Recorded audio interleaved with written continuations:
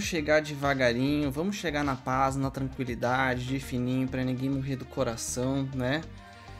Porque de, de problema já basta ser brasileiro, não é mesmo? Vamos lá. Fala aí, rapaz! Tudo bom com vocês? Aqui é o Carpenedo e na live de hoje, meus bonitos e minhas cheirosas, a gente vai continuar aí jogando o maravilhoso Dishonored. Eu acho que essa vai ser a última semana jogando ele. E aí depois a gente pode começar outro game muito maravilhoso também.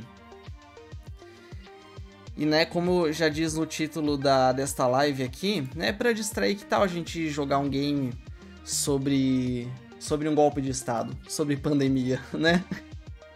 Nunca imaginei quando eu joguei Dishonored lá pela primeira vez em 2013 que oito anos depois eu ia estar vivendo o Dishonored. Não, não, não recomendo, não, não é legal. Mas antes de da gente começar a jogar, deixa eu receber a Rapaze aqui, chegando lindamente. E olha só, se não é o Siriaco aqui, seja muito bem-vindo, mano. Valeu pela presença, valeu por seguir.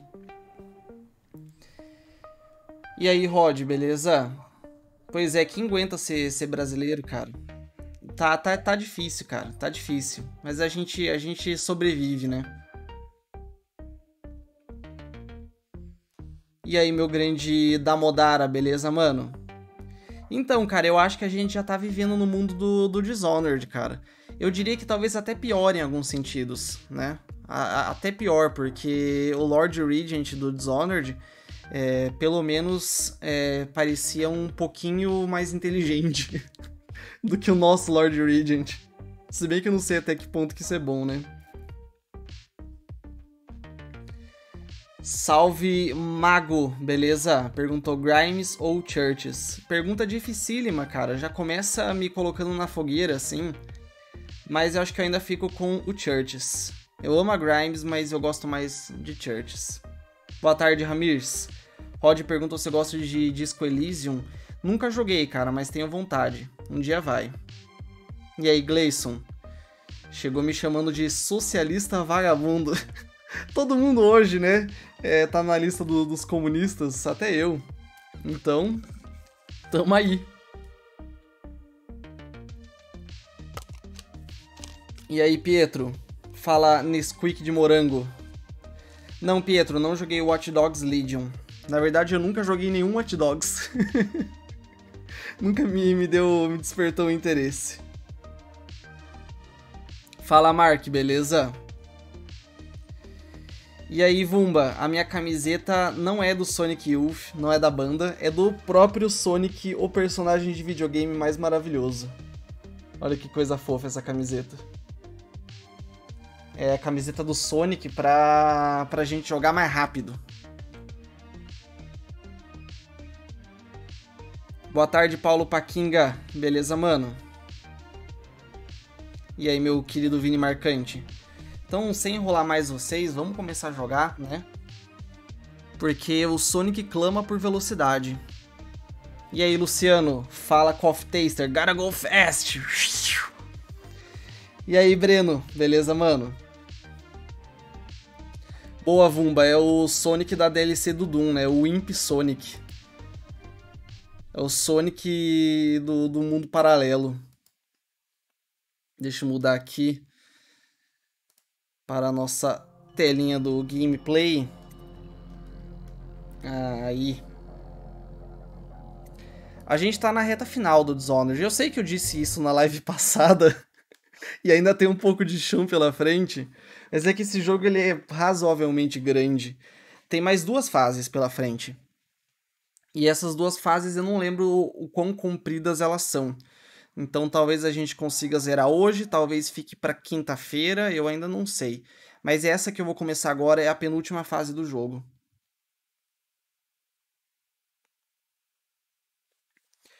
O Vini comentou aqui, viu que vão tirar o número de dislikes dos vídeos do YouTube para o público. Nossa, não, não tinha visto isso. Só vai mostrar os likes. Que doideira talvez seja bom, parando para pensar aqui. É, o YouTube precisa de um pouco mais de positividade. É, perguntou primeiro, e aí, mano, beleza? Perguntou se tá valendo a pena a Ancient Gods de Doom pelo preço que tá. Olha, cara, essas perguntas assim, se vale a pena ou não, é sempre muito difícil de responder, porque depende de cada pessoa, sabe? Cada um, cada um. Pra mim, vale totalmente a pena, porque eu amo Doom, amei o Doom Eternal, e eu acho que se você gostou do Doom Eternal e você quer mais daquilo, você quer a continuação da história, vale a pena mesmo sendo salgado, porque se você for analisar, é quase como um Doom Eternal 2, aquelas duas DLC somadas, né? E o preço é menor do que um jogo novo. Então, eu acho que vale, mas, né? Mas se você é um cara que, que não gosta tanto assim de Doom, que joga mais casualmente, talvez vale a pena esperar uma promoção.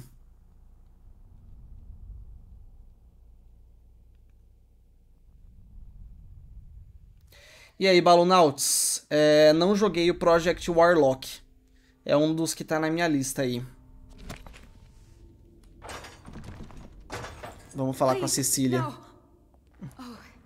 It's you, Corvo. Thank the stars. We all thought you'd been killed, except for Samuel.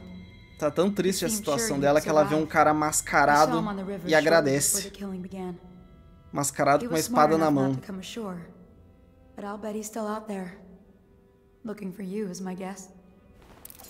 At first, Pendleton said it was time for our bonus. Havelock stood behind them, and at the signal, he shot them each in the back of the head. Just like the target drills he used to. Lydia barely had time to scream. I would be dead too. Except Wallace told me I wouldn't be getting anything. Pendleton kept apologizing, saying that no one could ever know about the things they'd done. Martin was drinking and seemed sad. The Admiral was about to shoot Callista. Then he mumbled something about owing her uncle, Captain Kurnow, a debt. They said it was time for Sokolov, and went off to his cage. I don't know what happened after that. Basicamente o que rolou aqui. Depois que os loyalists... Peraí. Poor child. I hope she hit her eyes. The Admiral said that Martin was right. I guess they talked about it. And they started to worry they'd get executed for all that they'd done, going after the Lord Regent and his allies. I suppose it's why they've poisoned you too. Depois que eles envenenaram o corvo, eu, no caso, né? Eles saíram matando geral, que não interessava aos planos deles, fugiram com a Emily pra, né, para poder executar esse golpe de Estado. Que horrível falar isso, porque me lembra do Brasil.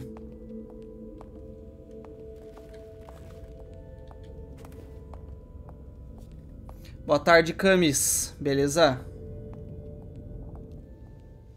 O Rod perguntou: teremos Darkest Dungeon para vê-lo passando raiva? Cara, eu não sei. Primeiro que eu, eu acho que eu não tenho Darkest Dungeon. Mentira, eu tenho porque deram na Epic. Mas eu tenho que ver se o jogo funciona bem para live, sabe? Tem jogo que é legal de jogar, mas para live a galera não curte, tipo, a galera é, vaza, não se interessa. Tipo, jogos que tem muito texto, por exemplo, que tem que ficar parando e tal para ler. Então eu tenho que ver se funciona pro conteúdo também. Salve, Thiago! Vamos lá. Felizmente a Cecília escapou com vida. Cecília está bem. Lydia would squeal on me at the end. She just told Havelock to screw himself. And died. Mas a Lídia já era. Agora a gente vai entrar lá no pub para ver o que, que aconteceu, né? Para ver quem que tá vivo, quem que tá lá ainda. Ver o que, que a gente pode fazer. Então agora esse jogo faz algo que muitos jogos fazem e eu sempre acho muito legal. Quando você volta a um local familiar. Nossa, já, já começou com o boneco me enxergando ali. É quando você volta para um lugar familiar. Um lugar que antes era acolhedor, de certa forma. E ele tá o oposto ele tá tomado pelos inimigos e você não pode ser visto, ou você tem que matar todo mundo. É meio que uma forma de reaproveitar um cenário que tá pronto, mas também trazer uma, um twist diferente ali no, no que se espera do jogo, né? Não é muito diferente, por exemplo, quando a sala segura do jogo, de repente não é mais tão segura assim, sabe? Eu, eu gosto dessas ideias. Aqui eu vou tentar matar o mínimo de pessoas possível. Eu vou direto para os meus objetivos. Sim, Mago, eu já assisti Evangelion. Muito bom. Depressivo, porém muito bom. e o Batcher perguntou se eu gosto de Dark Souls. Cara, eu tentei jogar duas vezes e nas duas vezes eu acabei dropando. Não me fisgou, cara. Eu reconheço que é bom pra caramba, mas não sei. Não me fisgou. Thiago, não sei quando vai ter live do Red Dead 2, cara. E aí, CHzinho?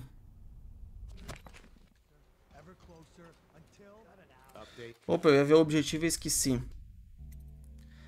Ó, primeiro tem esse objetivo opcional que é encontrar o Havelock e descobrir algumas pistas dos planos dele. Então é isso que a gente vai fazer. Vamos tentar chegar ali sem ser visto.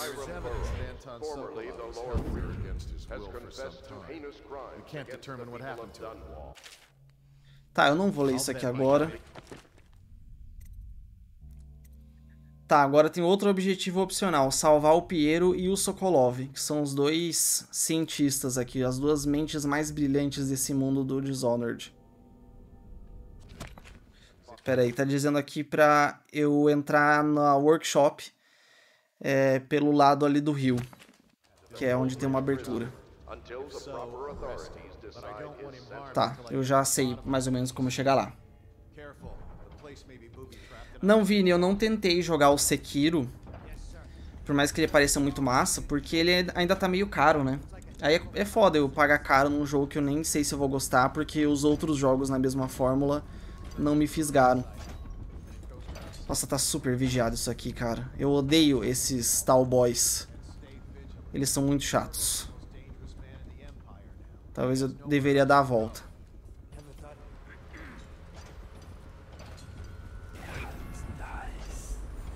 Opa, tem um guarda ali.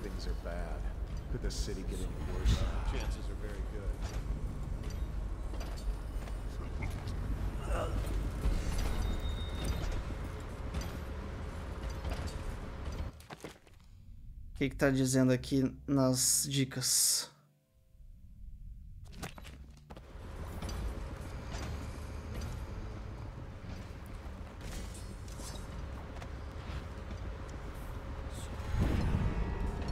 Opa, opa, quase que eu fui visto. Oh, esses caras eram mais burros antes, né? Pô, bicho, contrataram uns, uns seguranças, uns guardas bons aqui. Epa, em quem que eles estão atirando? Eles estão atirando lá no workshop, que é pra onde eu preciso ir. Eu acho que esse caminho aqui não é o melhor caminho pra chegar lá. Parando pra pensar que eu vou dar a volta. Tá tudo muito vigiado, né? Mas...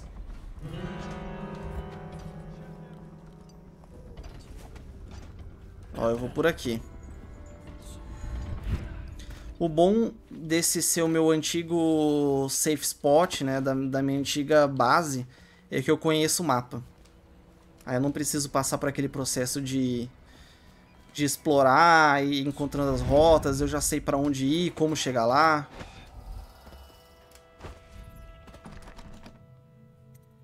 Pera aí, a Calista tá aqui, esse é o objetivo principal, eu acho. Tá, eu vou falar com a Calista primeiro.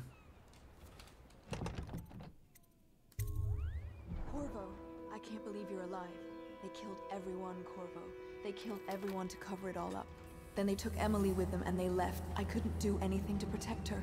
Please find her. Make her safe. All his talk of being an honorable military man, but Havelock will use Emily like a puppet to his own advantage. Something changed in the Admiral as soon as the Lord Regent died. It had been building up. Martin was acting strange, going quiet if any of us were near whispering late into the night with Havelock and Pendleton while you were out doing the real work. I think they realized they were one step away from holding the same position the Lord Regent had, and worried they'd be held accountable for what they did here, as the Loyalists. They would have killed me too, but Havelock spared me. Out of respect for my uncle, I believe. Please. E aí, Volmer, beleza? Someone must know where they're going. Find Emily. She's suffered through so much and she's got no one else on her side except you. Samuel set this here in case you returned. You can use it to call him. He said he'd come quickly. Hopefully there's a place he can dock where the watch won't see him.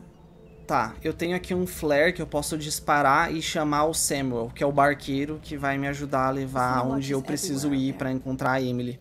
Então esse é o objetivo principal, se eu não me engano. É, é o objetivo principal. Antes, então, eu vou fazer os secundários. Que é assim que funciona, cara.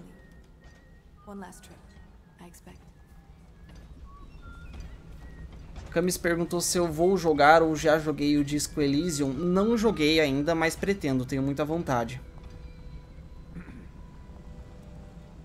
O bom é que eu já vou pegar esse Final Cut, né? A... É Final, Final Cut que chama? Essa última versão aí. Metal perguntou qual a sua opinião sobre racismo reverso. Existe ou não? Não, não existe. Simples assim. E Mago, eu já respondi você. Eu já assisti Evangelion e é muito bom. Eu gosto bastante. Batcher perguntou sobre o Dishonored 2. Adorou o 1, porém o 2 ainda não. Vale? Vale demais. O 2 é o 1 melhorado em todos os aspectos. É o 1 expandido, é o 1 com esteroides. Apesar de eu, de eu ter um carinho especial pela simplicidade do 1. Simplicidade entre aspas, né? Ele não é nem um pouco simples, mas perto do Dishonored 2 ele parece simples. It's refreshing to converse with someone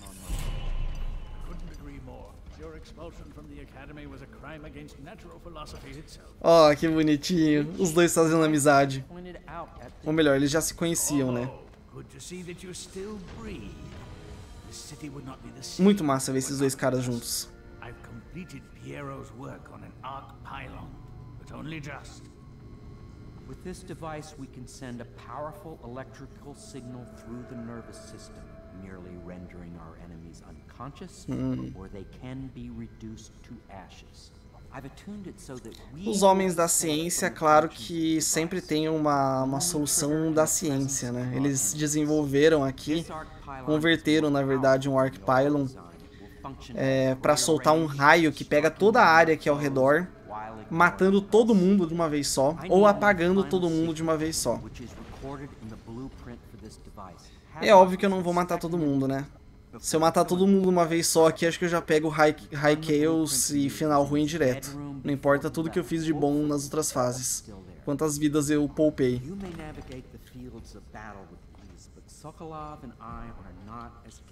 Tá, vamos ter que ir lá pro quarto do Havelock, que lá tem o que eu preciso. Deixa eu ver o objetivo aqui.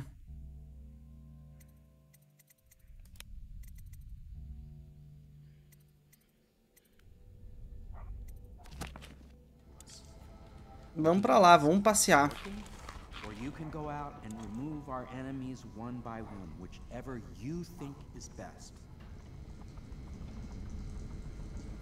Uma dúvida aí sobre o Disco Elysium, esse Final Cut, ele vem como atualização gratuita para todo mundo que tem o jogo, né? E para quem ainda não tem, mesmo preço, mesma coisa.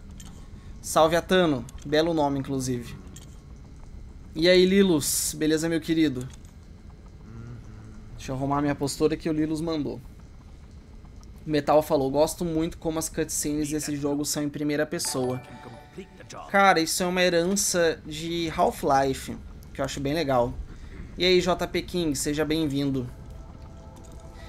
É uma herança de Half-Life, System Shock também, que são jogos que não se sustentam tanto em cutscenes, justamente para não quebrar a imersão, né? Aqui, a, a câmera em primeira pessoa é utilizada totalmente para colocar você dentro do, do personagem, né? da, da experiência. Então, tudo tem que reforçar isso. É, os diálogos acontecem sempre na primeira pessoa. É, não tem corte de câmera. É engraçado, cara, que esses jogos eles prezam tanto pela imersão. Eu acho que eu fui visto. Esses jogos prezam tanto pela imersão que tem até umas coisas meio bobas assim que você não espera, mas os caras se preocupam. Eu vi isso numa entrevista uma vez com uns ex-funcionários da Looking Glass, que é a galera... Foi visto? Tocou musiquinha. Foi visto. Nossa, é, é muito difícil não ser visto nessa fase.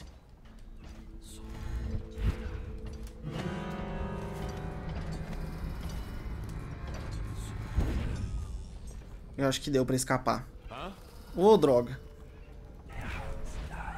Onde eu vou, cara, tem um monte de gente. Então, mas eu vi nessa... Não era nem uma entrevista, era um, um painel de, de conversa com ex-desenvolvedores da Looking Glass e eles comentando que eles nem sequer colocavam easter eggs nos jogos deles, tipo referências externas. Sabe quando você tá jogando e você vê uma referência a algum filme, alguma série ou algum outro jogo? Nem esse tipo de coisa eles colocavam nos jogos deles, no Thief, no System Shock, no Ultima, é, justamente para não quebrar a imersão tudo que tá lá dentro daquele jogo é para te reforçar a ideia de estar tá no mundo daquele jogo. Eu acho bem admirável isso. Não querendo fazer juízo de valor do que é melhor ou pior, né? Eu acho incrível quando a gente vê referências nos jogos, mas em jogos que faz sentido ter essas referências. E é compreensível a proposta deles em não fazer isso. Olha, olha esse desenho do, do corvo, cara. Que coisa mais linda. A Emily é perfeita. Jamais errou, uma artista. E aí, meu grande Cris, quanto tempo que eu não te vejo por aqui, cara? Verdade. Beleza, meu querido. Nossa, o, o Disco Elysium tá 60 conto. Tentador demais pegar agora. Preço tá bom mesmo. E aí, Matheus Rosa?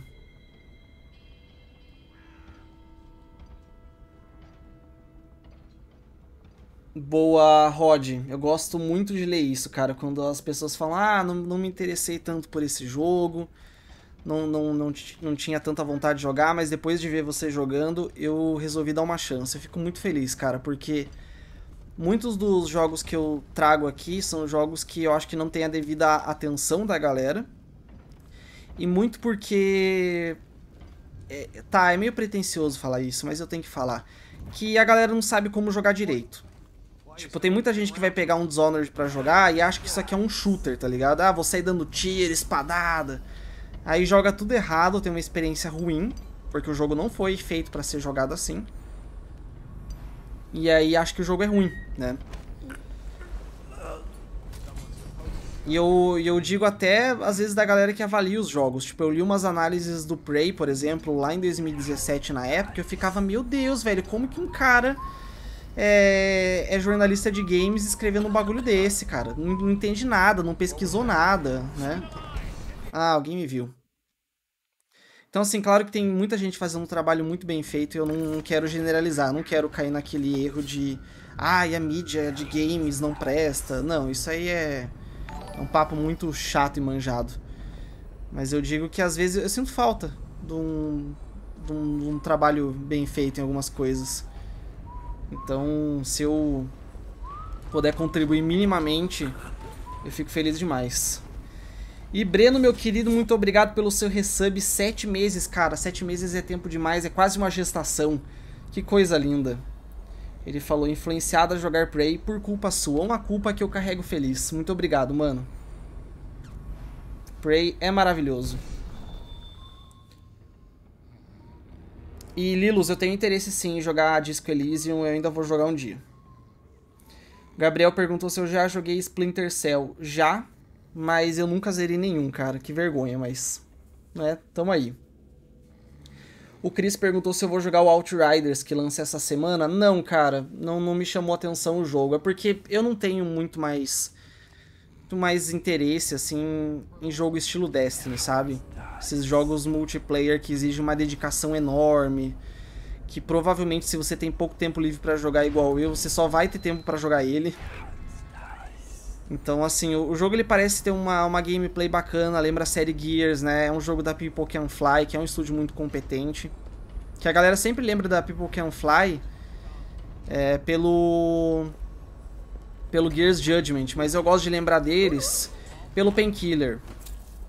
Eu gosto de lembrar deles é, pelo Bulletstorm. São jogos muito bons. Mas assim, a, a proposta do jogo não, não combina muito com o que eu tenho jogado. E aí, Diogo Zap? Cegazinho perguntou se eu tô jogando Destiny 2. Não, cara, eu parei de jogar Destiny 2 lá por novembro, dezembro do ano passado. Pra você ver, cara, eu joguei um mês e eu já larguei, assim. É, esse jogo multiplayer não, não me prende mais. O que eu vou, eu vou considerar, na verdade, uma benção. Ainda bem, cara. Que eu já fui muito viciado no Destiny 1 e é um perigo, cara. Esse jogo acaba com você se você deixar. Salve, Gabriel Prox. Beleza, mano? E aí, Optimus? Tranquilo, velho? Que bom que desbugou, então, que você tá conseguindo acompanhar a live aqui hoje. Tá, agora eu tenho que voltar lá pro Piero, que ele vai meter aquele raio na cabeça da galera por mim.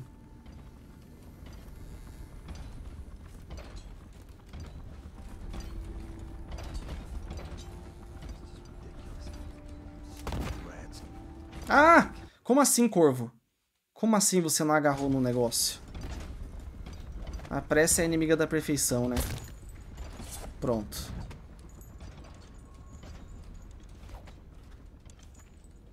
Que vontade de dar um pulo e matar esse cara ali embaixo. Mas eu vou resistir. A esses instintos maléficos. De matar pessoas. Sim, CHzinho. A, a People Can Fly foi um estúdio auxiliar no desenvolvimento da trilogia Gears. Eles ajudaram a Epic em questões técnicas, principalmente. Boa tarde, Tyler. Inclusive, teve um tempo até que a People Can Fly perdeu o nome dela. Ela foi batizada de. Acho que Epic Games Polônia, alguma coisa assim.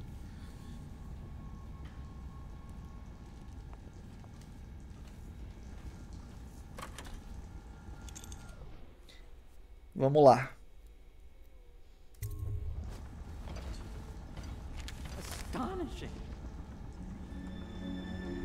Pronto, agora trabalha.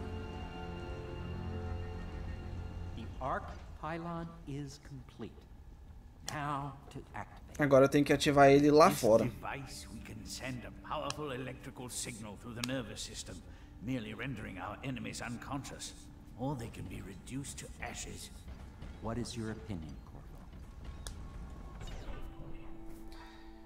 Vamos botar todo mundo para dormir, né? O Corvo é bonzinho. Ele tem que ser um bom exemplo para Emily. Imagine como é que você vai olhar depois no rosto da sua filha criança e falar: Ah, matei todo mundo, foda-se. All is ready, Corvo. All that remains is plugging in a whale oil tank to power it. Will you do the honors? É óbvio que eu vou fazer isso, porque eu sou a única pessoa de ir lá fora, onde, onde tá super vigiado, e, e colocar um tanque de óleo de baleia.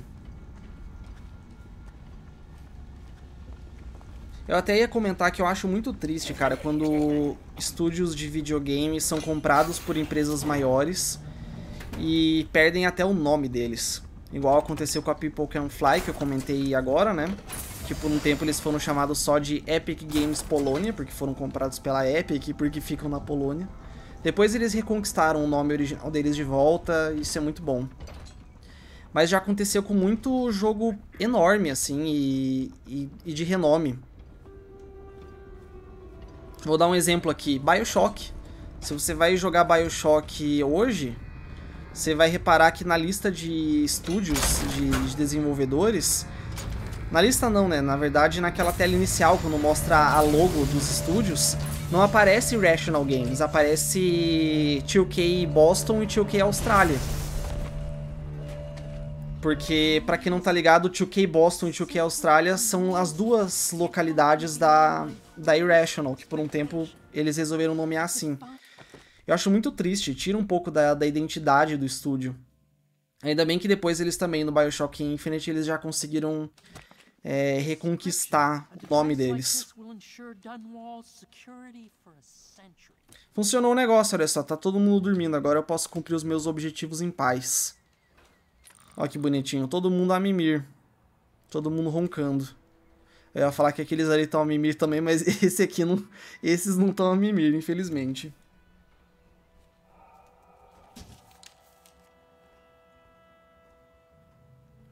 Não, Tyler, eu ainda não assisti aquele podcast que você mandou do com o Felipe Torres, do Hermes e Renato.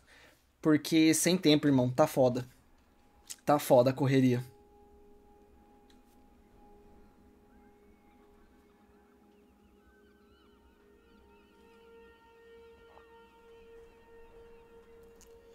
O Atano perguntou se eu já vi os mods gráficos pra Dishonored. Nunca vi, cara.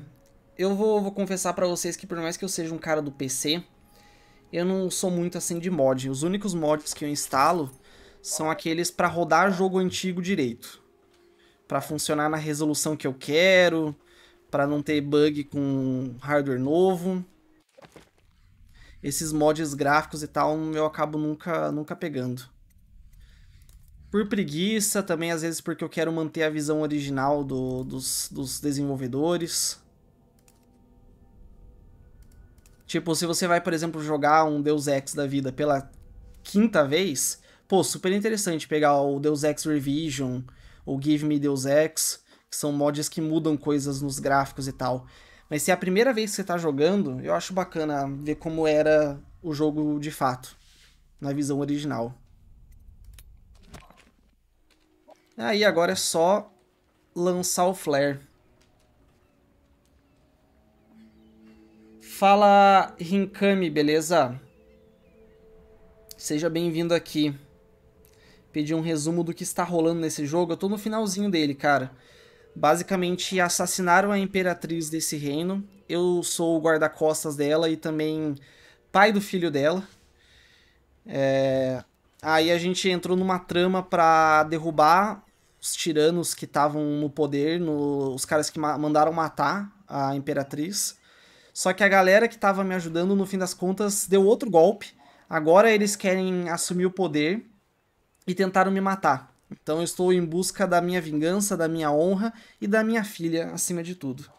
Bem resumidamente é isso. É um jogo bem tranquilo, cara, que tem uma história aí sobre pandemia, sobre golpe de estado, né? Algo que, pô, jamais você veria na, na vida real, né? Não existe esse tipo de coisa. Aqui no Brasil, então, o Brasil é. Deus é brasileiro, esse tipo de coisa não acontece no Brasil.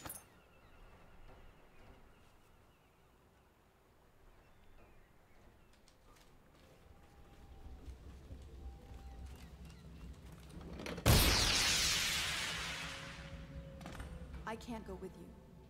I'll be okay here. Just go. Obrigado, Calista. I can find my way out of here. But there's no way I can help Emily the way you can. I saw Samuel on the river earlier. I'm sure he'll take you where you need to go. One last trip, I expect.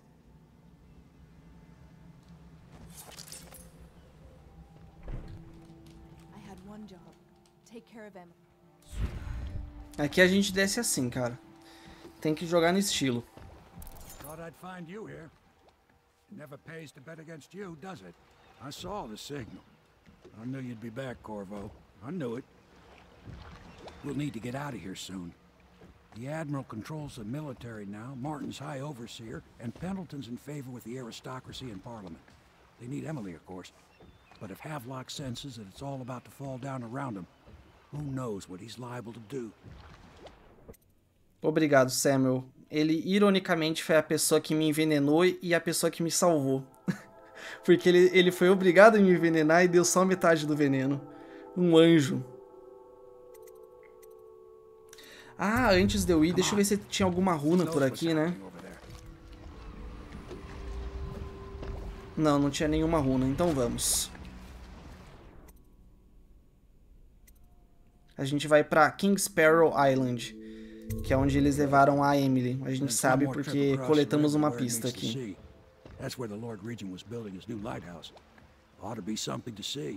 É um farol super vigiado. Essa missão aqui é, é difícil. Boa tarde, James. Beleza, mano? Concordo, Optimus. A trilha sonora de Dishonored é maravilhosa. De todos os jogos da Arkane, na verdade, né? Vocês ouviram a música do trailer do Deathloop, que o nome é Deja Vu?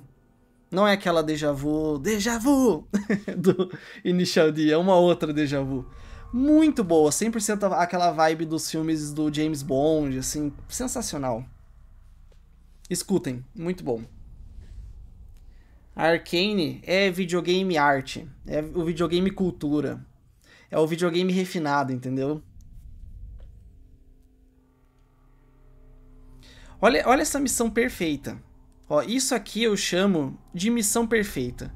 Não matei ninguém, nem hostil, nem civil, não soei nenhum alarme, não encontraram nenhum corpo, caos baixo, nunca matei e nunca fui detectado.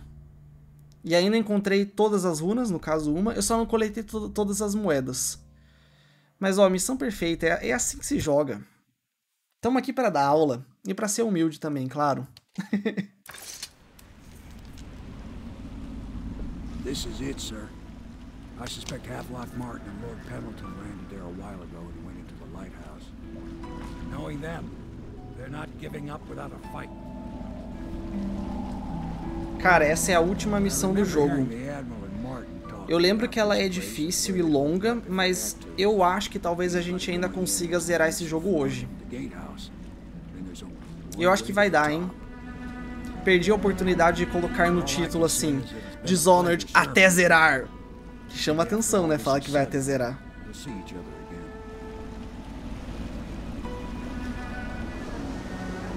Good luck, If anyone deserves it, you do.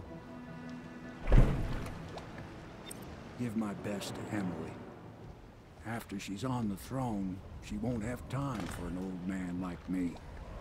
Coitado do Samuel. A gente gosta de você, Samuel. to. For that, I respect you. The city's gonna pull itself up, I believe. Too many good people here let it all turn to ashes. I'd best be going. The battlefield's no place for an old sailor like me. That time is long past. Good luck, my friend. Eu adoro Samuel. Eu adoro os personagens desse jogo. São muito bons. A escrita desse jogo é maravilhosa. Eu sou fanboy de Dishonored, como descobriu?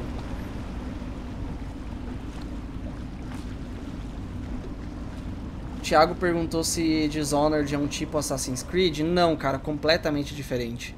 Completamente diferente.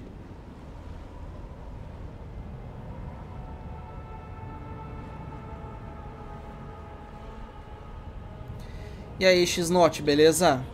Sobre o próximo jogo que eu vou pegar pra zerar em live, depois que eu terminar esse aqui, eu vou fazer uma enquete. Durante essa semana aí. Provavelmente amanhã, eu acho. Vou fazer uma enquete lá no meu Twitter. Então já me segue lá, é xcarpeneiro no Twitter. Que aí vocês ficam sabendo. Vou fazer uma enquete para decidir o próximo jogo.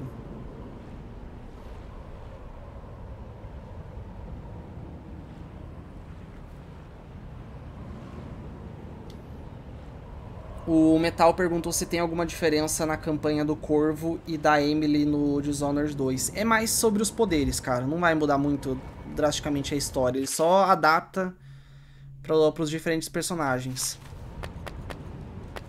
Mas é o lance dos poderes mesmo, do, do set de, de, recursos que você tem à disposição durante as fases. Então, assim, muda bastante coisa, né? Mas muda no gameplay. Nossa, eu tô lembrando como essa fase é chata, cara. É chata porque tem esses... Como que eu chamo isso aqui, cara? Esses canhão de luz que ficam toda hora me espotando.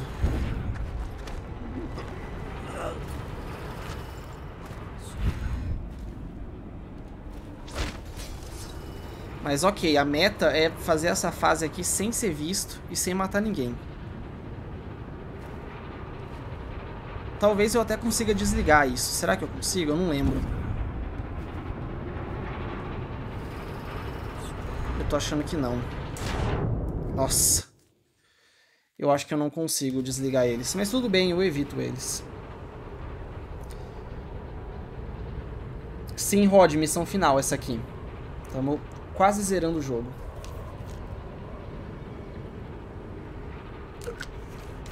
Ô Diogo, que massa. Começou o Fahrenheit 451. Eu comprei ele esses tempos, mas eu ainda não comecei a ler. Eu sempre menciono né, que ele foi referência nesses jogos aí, System Shock, Deus Ex.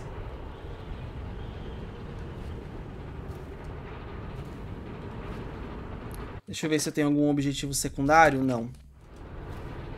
Ó, tem duas entradas aqui pra, pra esse forte. Eu vou por aquela da direita. Porque eu, eu lembro dela com mais fidelidade.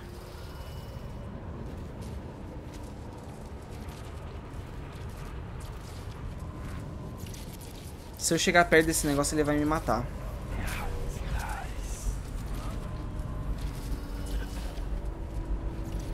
Deixei por ali.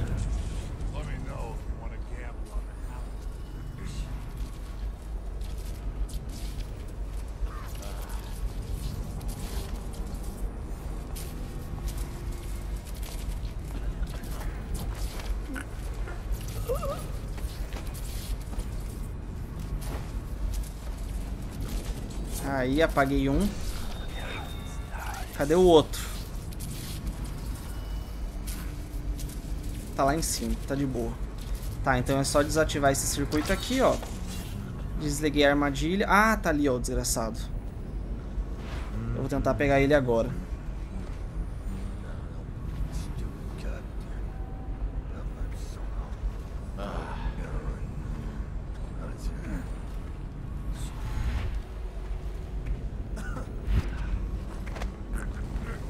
E tem mais um ali em cima, ó.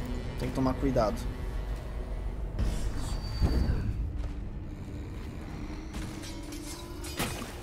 E aí, Timbalinha, boa tarde.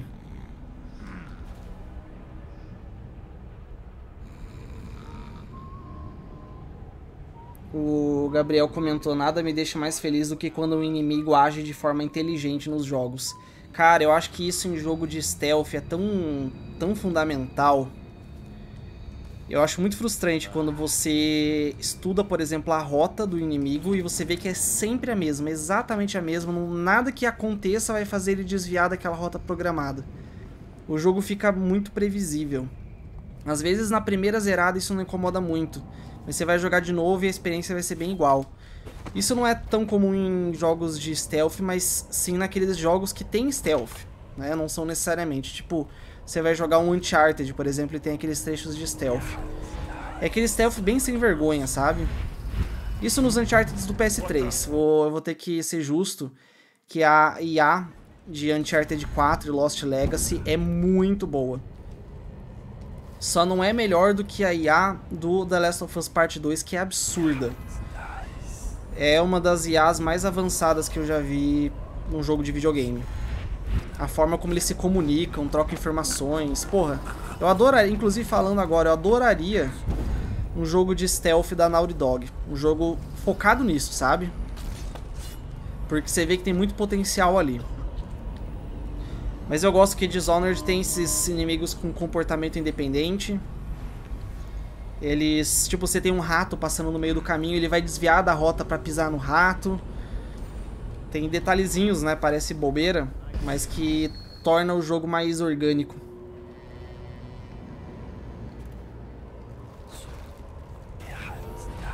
Cara, como que eu vou tirar esse cara daqui? Ah, ele saiu. Deixa eu tentar pular atrás dele. Ô, oh, droga. Fiz tudo errado.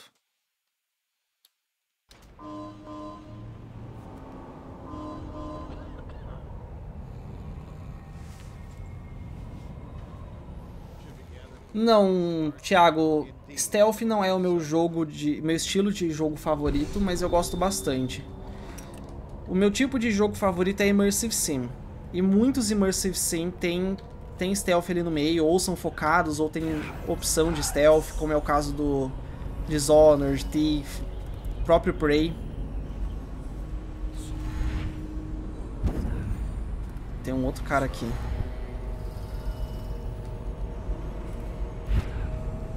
Aí. Boa tarde.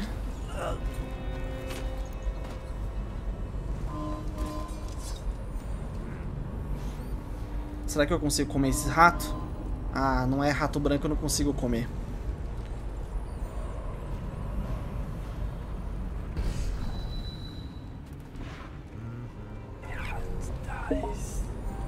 Tô pensando em distrair esse cara aqui, ó, com o crossbow. Ah! Odeio quando acontece isso. Eu aperto o botão e o jogo não faz a ação que eu queria. Tá, isso não é uma forma inteligente de distrair ele. Eu vou esperar ele andar, eu vou ser paciente. É como eu digo pro meu cachorro Bob. Paciência é uma virtude, Bob. Eu vou ouvir meu próprio conselho.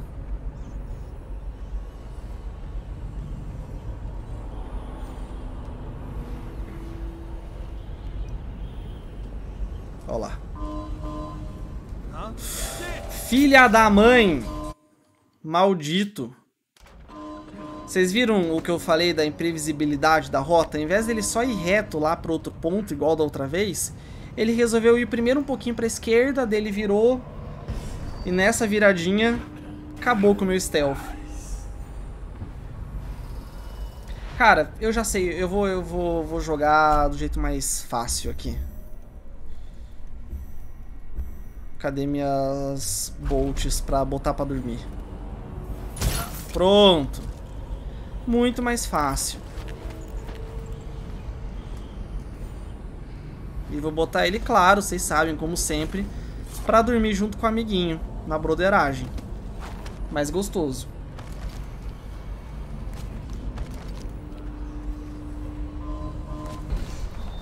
Ah, meu Deus, tem três guardas ali.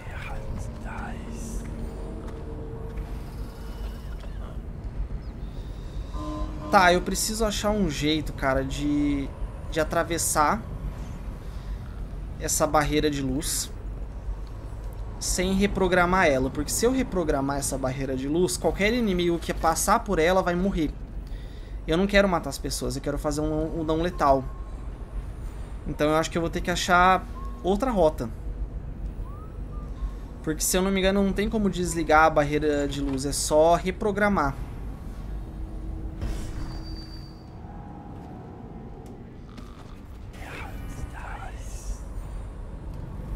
Cara, como que pode, né? Fiquei um tempão pra derrubar os dois guardas que estavam aqui e me aparece mais três agora. Deixa eu ver se tem outro caminho. Nossa, tem dois caras lá embaixo. Tá completamente cercado isso aqui.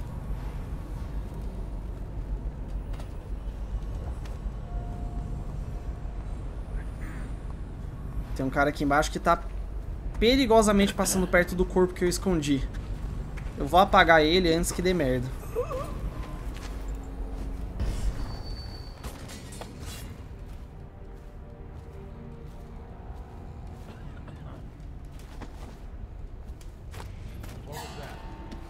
Ah, como assim você me ouviu?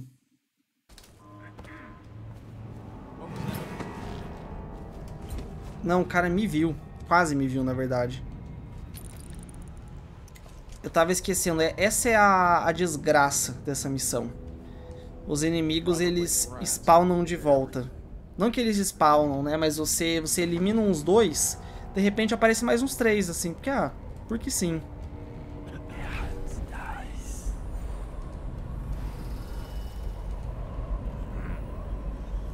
Tá, eu vou apelar.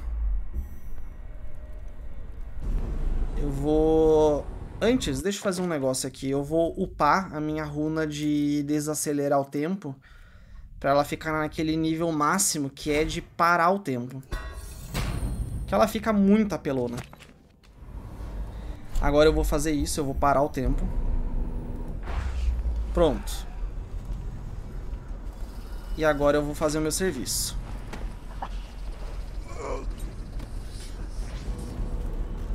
Já acabou?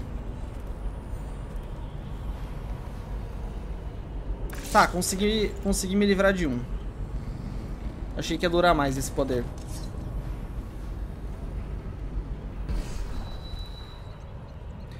O Optimus está me dando a dica que tem um canal de esgoto aqui pela esquerda e eu posso usar ele para entrar dentro da instalação e desligar a parede de luz. Boa, velho. Boa, valeu pela dica. Tô vendo aqui agora. Olha lá. Nossa, como eu não tinha visto isso. Perfeito.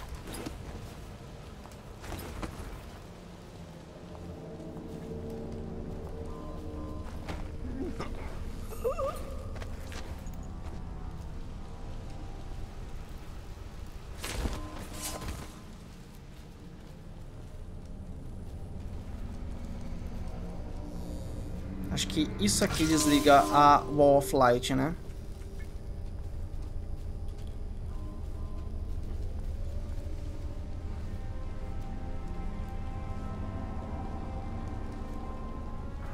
Sim, Gabriel, essa fase aqui é muito boa. É porque ela é a fase final, né? Na última fase, os game designers podem tacar tudo na mão do jogador.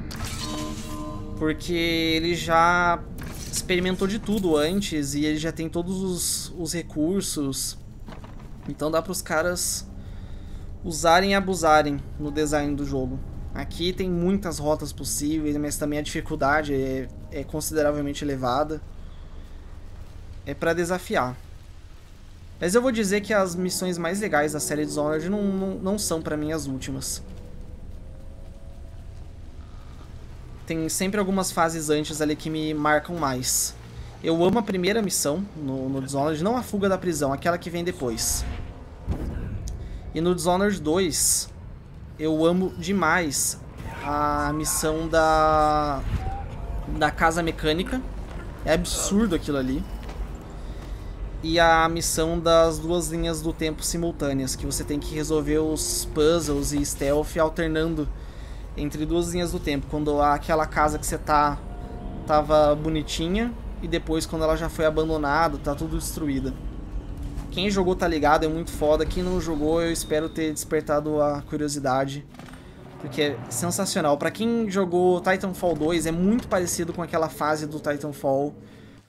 Que é, é o mesmo esquema, você tem duas timelines e você tem que alternar entre elas para avançar. É genial, cara. Genial.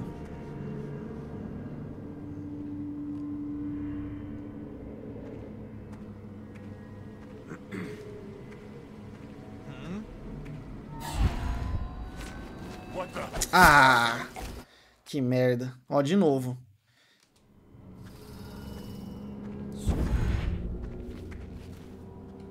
Deixa eu ver os objetivos. Ok. E deve ter runas por aqui, né? Tem uma runa ali embaixo, eu vou atrás dela.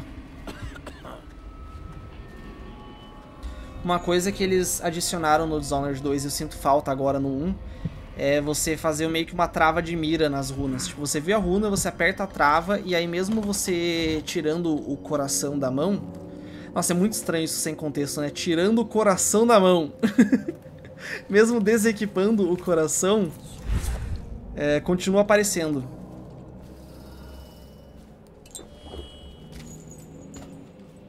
Ó, mais uma entrada possível aqui.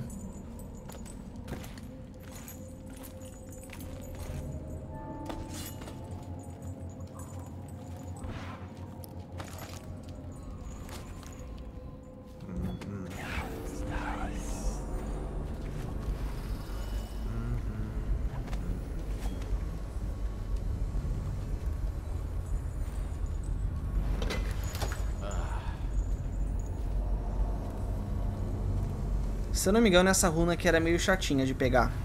Não tenho boas memórias com ela. Lembro de ficar empacado, alguma coisa assim. Ela tá lá embaixo.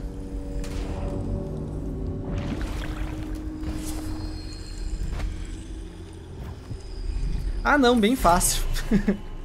eu tô viajando. Ainda bem que foi fácil. E a única runa que tem nessa fase. Então tá de boa, dá pra focar nos objetivos.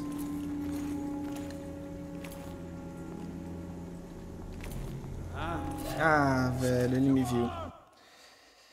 O Paulo perguntou como é que funciona esse sistema de save do jogo. Então, cara, eu tô jogando no PC. No PC, você consegue dedicar uma tecla ali do, do teclado para salvar e outra para carregar. Eu uso o F5 e F8. F5 para salvar e F8 para carregar. Então, tipo, apertei F5 agora, meu jogo tá salvo aqui. Se eu apertar, ó, andei e tal, apertei o F8, ele volta da onde eu tinha salvado. Quase instantâneo, leva, sei lá, uns 2 segundos.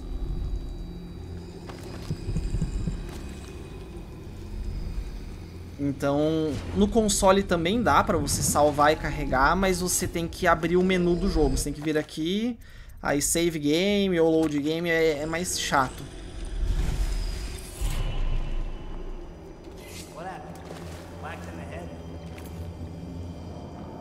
E eu acho legal, cara, esse, esse esquema de quick save e quick load. Porque assim, por mais que pareça trapaça, né? Qualquer erro que eu cometo eu tô voltando meu save.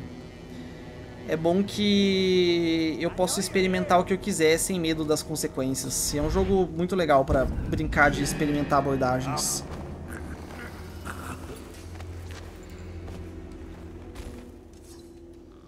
Ah, ele encontrou o corpo do amiguinho dele. Você só, só, só tem que tomar cuidado para não salvar em momentos críticos. Eu já avacalhei alguns jogos por ter salvado na hora errada, né? O lance do save manual, ele exige também responsabilidade, né? Já dizia Tio Ben, com grandes poderes vem grandes responsabilidades. Então, se você não for muito esperto na hora de salvar, você pode fazer cagada, cara. Você pode salvar, tipo, com um de vida na frente do boss, assim. E aí você não consegue mais sair dali. Em jogos antigos isso era mais problema, porque hoje em dia sempre tem, além do, do save seu, né? Você tem saves automáticos, às vezes o jogo registra quick saves anteriores, né? Então ajuda demais. E olha quem tá aqui se não é o meu querido Panda dos Games. Sorria, com certeza. Valeu aí pelo, pelo resub, velho. Tamo junto, dois meses. Coisa linda. Grande Panda, inclusive hoje à noite nós vamos gravar mais um episódio do Overclock, nosso podcast sobre PC Gaming. Quem puder mandar uma exclamação Overclock aí no chat, eu agradeço.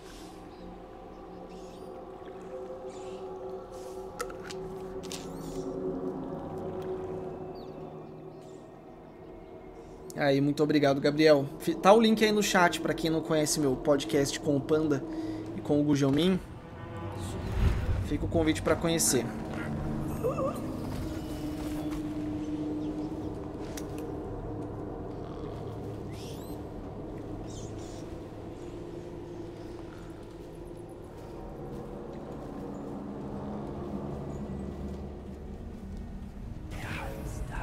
Eita, eita. Não, você não viu nada, cara. Você tá alucinando.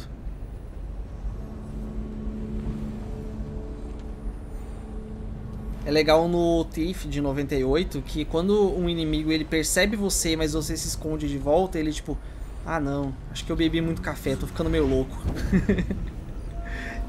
Isso entre várias falas, né?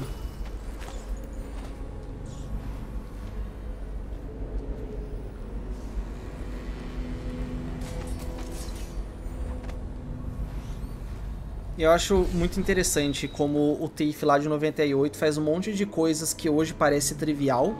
Tipo, por exemplo, você saber se o inimigo te viu, se ele quase te viu, se ele tá te vendo. Você saber só pelas falas dele, por exemplo. Que é aquele feedback do jogador, né? Não tem nada mais frustrante num jogo quando acontece alguma coisa, mas o jogo não sabe te comunicar. Tipo, o inimigo te enxergou, mas você não sabe que ele te enxergou. Aí aparece que só que ele te enxergou do nada, sem motivo nenhum.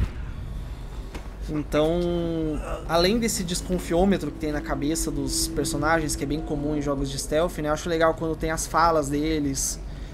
Tipo, o cara falou, opa, acho que eu vi alguma coisa. Aí você se esconde. Aí espera um tempo, ele fala, ah não, acho que eu tô vendo coisas. Aí você já sabe instantaneamente, pronto, posso continuar minha stealth, posso continuar andando. São detalhezinhos bobos assim, mas cara, lá em 98, ninguém tinha feito isso.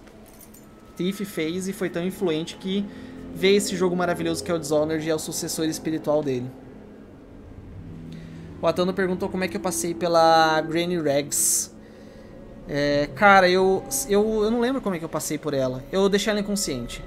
Eu destruí o medalhão e depois eu meti um dardo sonífero na cabeça da velha.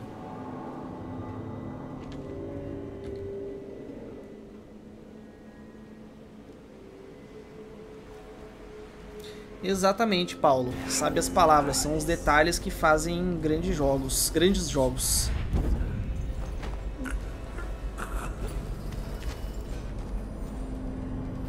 Ah, eu não vou descer lá só pra deixar ele junto dos amiguinhos. Eu vou deixar o cara aqui mesmo.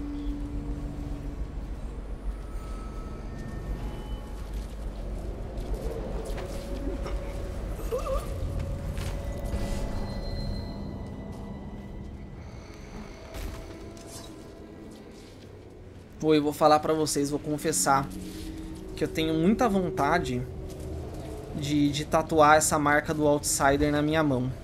Na moral. É meio cringe? Talvez. Ah lá o cara fazendo as tatuagens igual do joguinho. Mas eu tenho vontade. Assim como eu tatuei a corrente do Jack de Bioshock. É que assim, eu já tenho uma tatuagem de joguinho, né? Ah, eu não sei se eu já estourei a minha cota.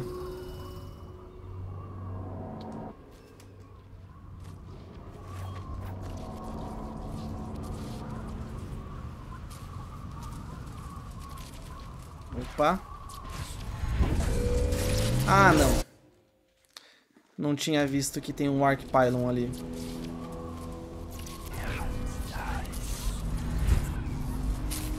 Tá, eu posso vir aqui por baixo, reprogramar o Arc Pylon e matar o cara, mas como eu não quero matar, eu só vou passar discretamente. Ó, tem aquele tanque de baleia ali, cara. Que pena que eu não consigo acessá-lo. O óleo de baleia. Qual que é o horário do óleo de baleia? É, o, o óleo de macaco, o horário oficial é meia-noite, né? Mas o, o óleo de baleia. Ficou essa dúvida aqui.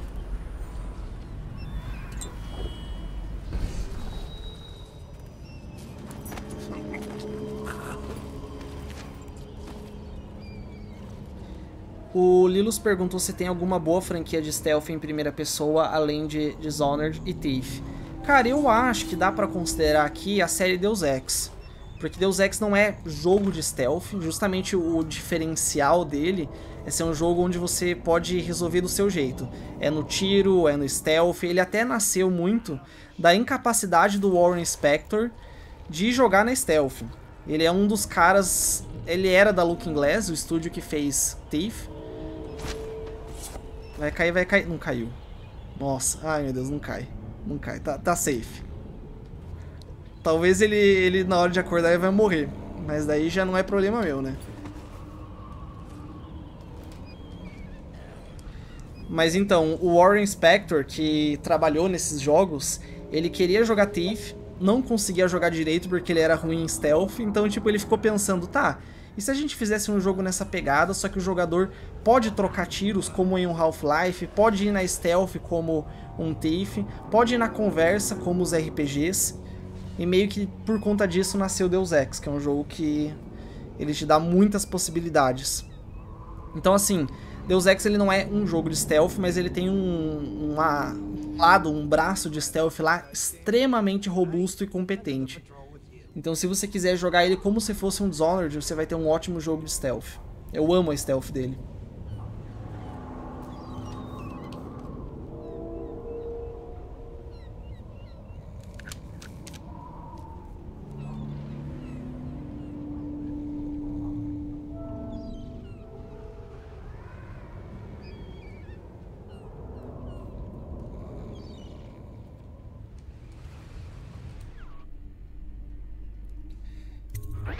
Massa, agora vamos lá para pro farol. Que é de fato onde tá o, a Emily e os traidores da pátria. Os traidores da nação.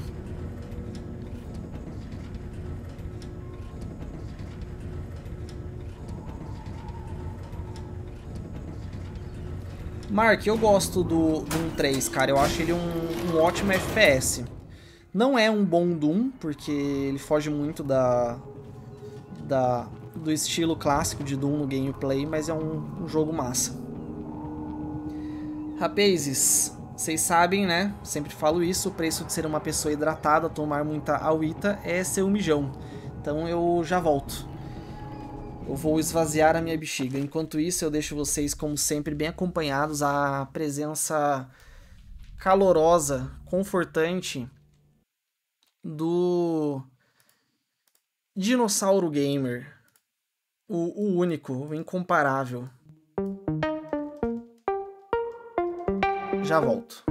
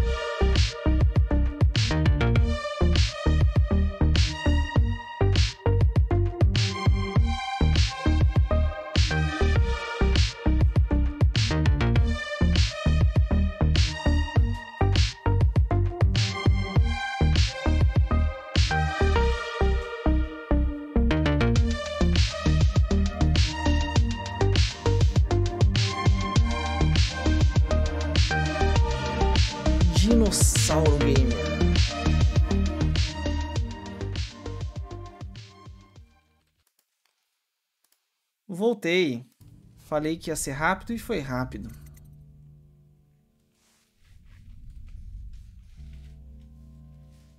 Inclusive, eu fui lá pensando já que é bem possível que eu zere esse jogo antes das 6 horas, que é o horário que a gente termina, né? Então já vou perguntar para vocês, se eu zerar antes e sobrar uns minutinhos, o que, que vocês preferem? Que eu fique só conversando com a galera, igual a gente faz toda semana numa live específica para isso, ou que eu emende aqui algum outro jogo, provavelmente um boomer shooter, sabe? Um, um Dusk, só para ficar matando uns bonecos. Digam aí no chat que se sobrar tempo, né? Que eu acho que vai sobrar tempo. Eu tô, tô no finalzinho já. Finalzinho da fase.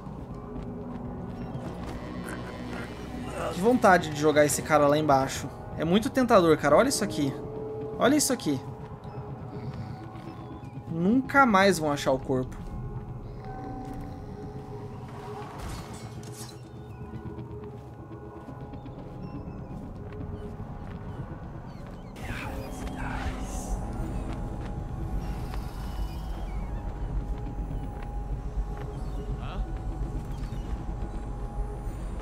Tem dois ali.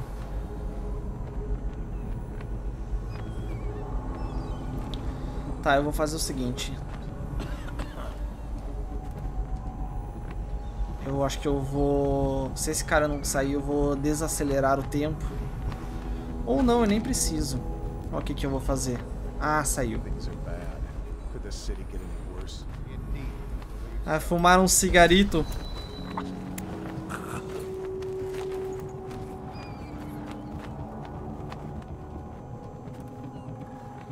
Ainda bem que esse cara era fumante.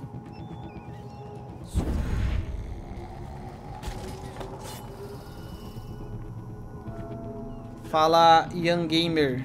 Tudo certo, mano. Gabriel mencionou sobre as conquistas desse jogo. Cara, eu adoro quando os jogos têm conquistas assim, que te incentivam a explorar, experimentar coisas diferentes.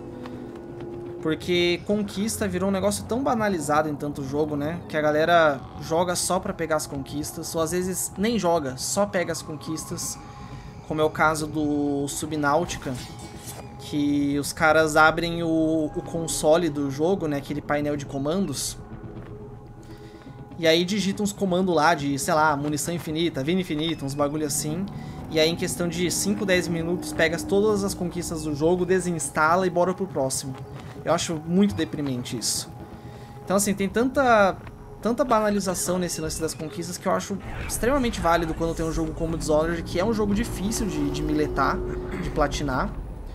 Mas as conquistas é, te incentivam a você pegar, tipo, todos os itens do lore do jogo, pegar todas as runas, matar de formas específicas, fazer combos específicos. Eu acho bem massa, cara. Eu mesmo já já eu posso dizer que eu já aproveitei muito do, dos jogos que eu tenho aqui, muito mais do que eu aproveitaria é, por conta das conquistas. Eu acho que é o lado legal das conquistas. Boa tarde, Gustavo Jesus. Beleza, mano?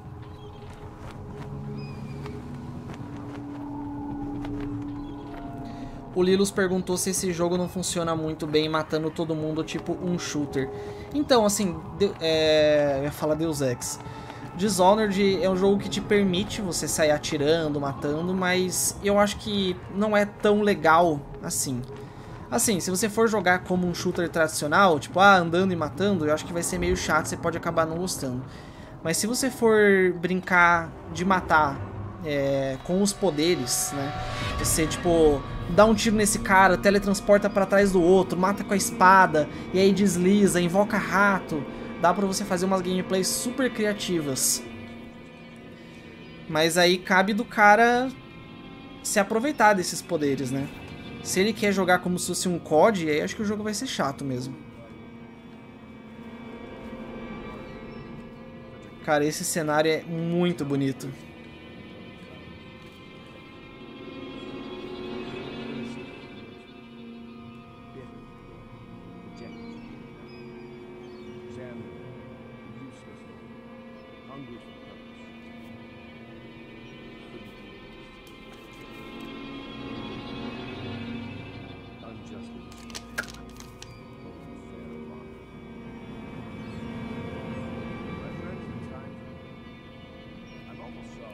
James falou que isso aqui lembra um castelo nazista. Pior que lembra, verdade. Lembra esses últimos Wolfenstein, né? Essas bandeiras vermelhas penduradas, toda essa luxuosidade, essa estética bem meio opressiva até. Não é à toa, né? Quando, quando um jogo ele quer te passar a ideia de que um determinado inimigo, um vilão, ele é autoritário, ele é mau, bicho, copia a estética nazista que não tem erro, a galera vai sacar na hora. Star Wars que o diga. Aquela cena do Star Wars Despertar da Força, que tá todo mundo reunido na base, todo mundo da Nova Ordem, e o acho que é o almirante, né? Não lembro o nome do cara lá. Que ele dá um discurso pra galera. Meu Deus, velho, aquela cena ali é maravilhosa. Então, que vontade de matar o Havelock, né? Porque ele é o que, a pessoa que menos presta nesse mundo. Que se, se, se vendeu como uma boa pessoa que tá fazendo a coisa certa, mas no fim das contas é só mais um picareta traidor que matou um monte de gente inocente. Eu não vou matar ele, mas eu vou jogar ele em cima da gelatina. Que é o pior que eu posso fazer pra ele aqui.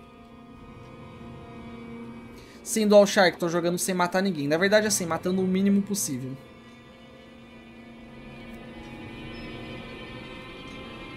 E que lindo, Paulo, saber que eu te convenci a baixar Dishonored. Eu adoro, adoro ler esse tipo de coisa. Joguem jogos da Arkane, gostoso demais. Eu, eu falo, não, não seja fanboy de marca, ah, Xbox, Playstation, Nintendo. Seja fanboy de estúdios, de jogos, de desenvolvedores, sabe? Tipo, porra, eu pago pau pro trabalho que essa equipe faz. Essa equipe é de uma galera talentosa. Isso eu apoio totalmente. Ah, acabou o jogo, rapaz. Já tô, tô alertando pra quem não manja. Acabou. Tipo, a Emily tá trancada naquele quartinho, né? Agora eu vou lá falar com a Emily e acabou o jogo. Aí vai ter uma cutscene final aqui, que varia dependendo do final que eu escolhi. Que eu escolhi não, né? Que, que, que eu mereço de acordo com as minhas ações. Tô até dando uma explorada pra ver se tem mais alguma coisa pra cá.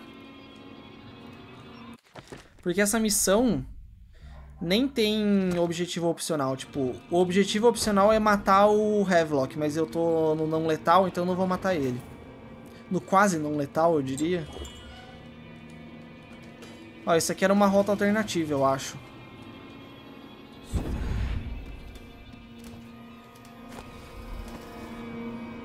Ah, eu lembro... Nossa, eu tô lembrando que dependendo do que você faz aqui, rola um confronto nessa, nessa ponte. É uma cutscene bem legal. Eu não sei se vai acontecer agora comigo. Eu acho que por eu ter apagado ele, não vai.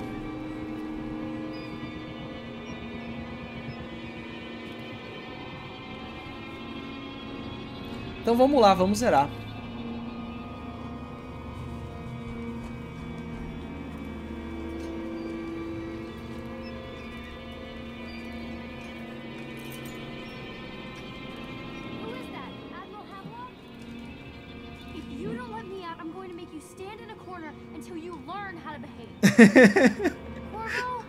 a Emily é muito boa, cara.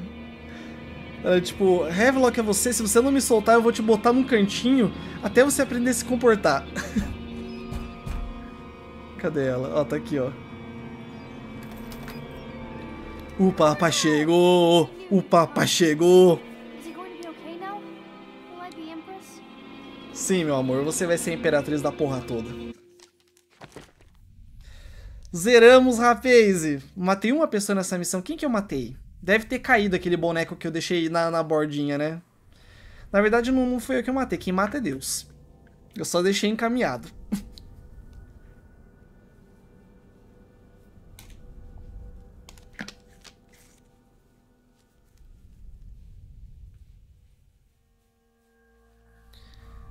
Ó, caos baixo, nunca detectado. Perfeito. Missão perfeita.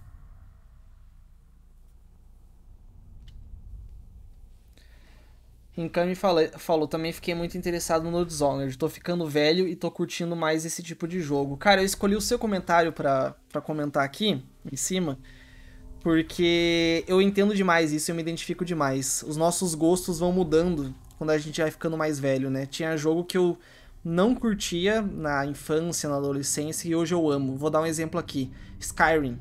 Quando eu peguei para jogar pela primeira vez lá na época, não me fisgou. Joguei umas duas horas e larguei. Hoje é um dos meus jogos favoritos e eu amo e eu tenho ele sempre instalado para de vez em quando voltar pro jogo só para dar uma passeada pelo mundo. Então, eu acho que muitos do, desses jogos aí, a galera que não curte agora, talvez a, aprenda a gostar, a se interessar daqui uns anos. O Ian falou que a batalha na ponte que eu mencionei ali só acontece se você pegar High Chaos. Valeu, não sabia disso. Interessante.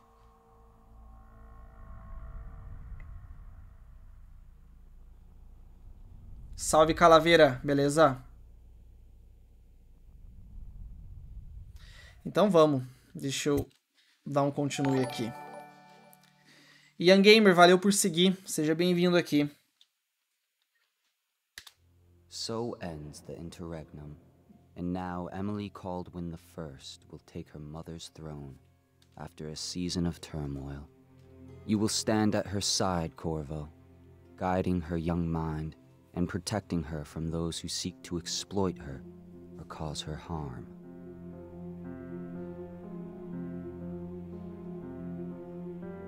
You watched and listened when other men would have shouted in rage. You held back instead of striking. So it is with the passing of the plague and Emily's ascension, comes a golden age brought about by your hand.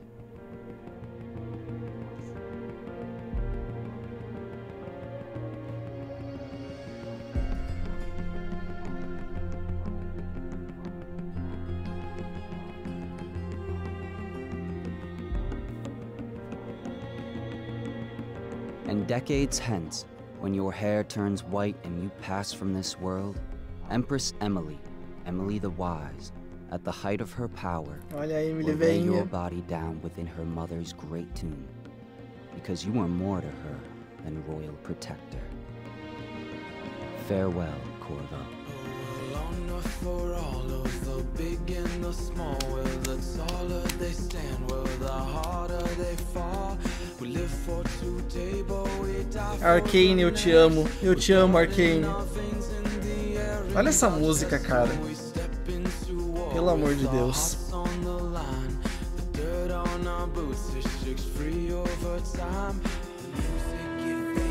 Obra de arte, bicho. Um dos melhores jogos já feitos. Falo sem exagero isso. Maravilhoso. E esse final é muito bonito. Quando você pega o final bom, ele mostra as consequências de todas as escolhas que você tomou, né? As pessoas que você salvou, dos objetivos opcionais. E mostra que a bondade do corvo foi o que levou a Emily a trazer uma era de ouro para Dunwall. Curou a praga junto com os dois cientistas lá. Reinou de forma sábia. Emily a sábia. Lindo demais.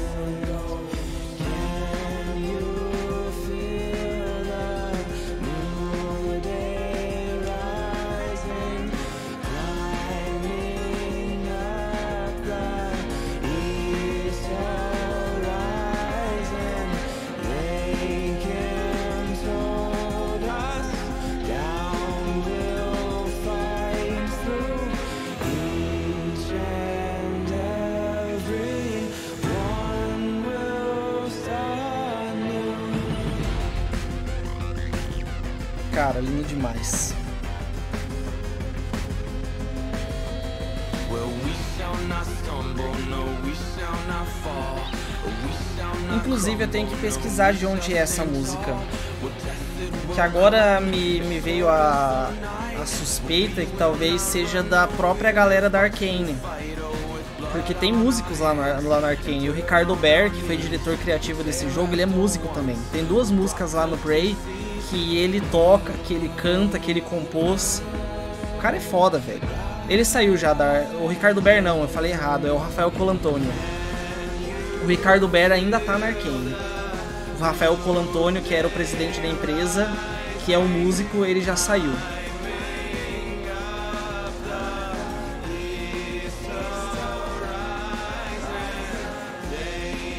Mas eu tenho essa suspeita que essa música aí é dos caras lá da Arcane mesmo.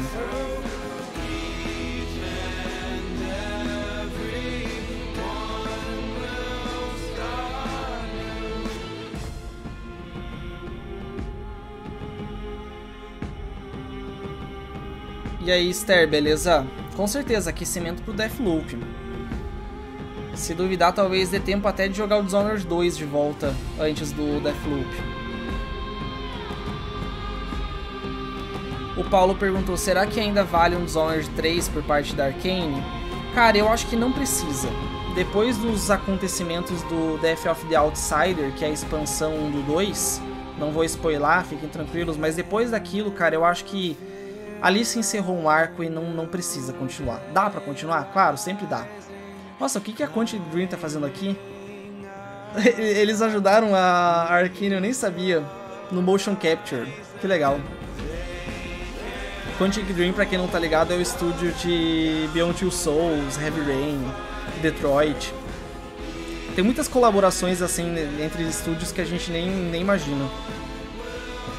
Por exemplo, a Arkane ajudou pra caramba no Bioshock 2. Talvez muitos não saibam disso. A Esther falou Quantic Dream, perdi o interesse no jogo. Felizmente é só na, em aspectos técnicos. Se fosse aspectos criativos, o jogo não seria tão bom. Mas então, o que eu tava falando, não precisa de um Dishonored 3, ao meu ponto de vista, assim. Eu fico bem tranquilo em ver a Arkane tocando o barco agora com outras IPs, como é o caso mesmo do Deathloop. Até Prey eu acho que não precisa de sequência, apesar de eu amar o jogo. Sabe o que eu gostaria de ver? Esse é o, o meu sonho. Eu não, não, não sei se isso um dia vai acontecer. Mas eu queria ver um Deus Ex da Arkane. Não exatamente da franquia Deus Ex, mas na pegada do Deus Ex. Porque o primeiro jogo deles, Ar Arx Fatalis, é um sucessor espiritual do Ultima Underworld. Aí teve Dishonored, que é um sucessor espiritual de Thief. Teve Prey, que é um sucessor espiritual de System Shock. E agora eu queria um sucessor espiritual de Deus Ex. Feito pela Arkane, tendo na equipe, por exemplo, o Harvey Smith, que foi lead designer de Deus Ex. Cara, sairia um jogo maravilhoso, tenho certeza. Então, eu adoraria que a Arkane estivesse fazendo isso agora. Eles têm duas equipes, né? Tem a equipe de Austin, no Texas, e tem a equipe de Lyon, na França. A equipe de Lyon é a do Deathloop. Então eles estão agora na reta final para lançar esse jogo. A equipe de Austin tá desde a conclusão do Prey, na verdade desde a conclusão da Moon Crash, que é a expansão do Prey, e também do trabalho adicional no Wolfenstein Youngblood, que eles auxiliaram no level design daquele jogo. Desde aquela época eles não, não mostraram nada. Tipo, a DLC do Prey saiu em 2018, eu acho.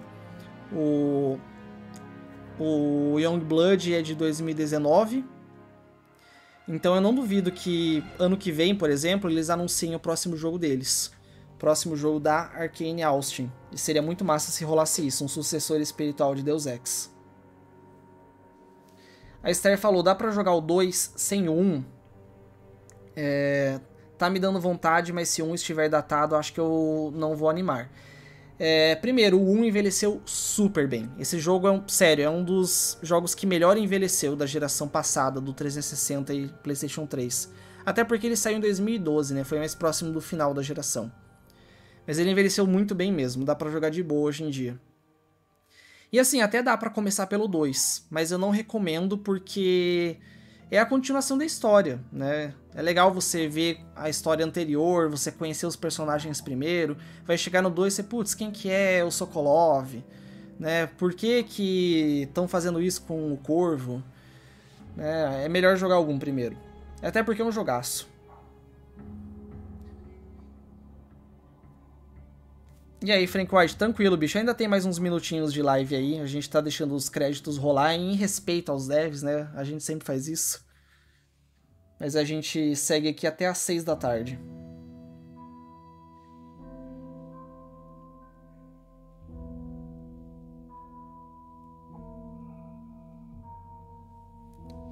Eu não consigo puxar as mensagens anteriores do chat, já já eu vejo aqui. Aliás, um, um vídeo que eu quero fazer ainda lá no YouTube. Vamos ver se eu consigo fazer ele esse ano, porque tem muitas outras coisas que eu quero fazer também. Tudo dá muito trabalho, leva muito tempo. Mas eu, eu tenho muita vontade de contar a história do desenvolvimento do Dishonored. Porque eu só achei conteúdo sobre isso em inglês. E eu acho que seria legal se tivesse algo em português brasileiro, né? Olha, agradecimento ao Doug Church. Doug Church é uma lenda, rapaz. Esse cara aí, ele é um dos, das principais mentes criativas na Looking Glass. Genial. Ele não é tão lembrado, ele não é tão creditado, mas o cara é tipo tão importante quanto foi o Warren Spector nos Immersive Sims.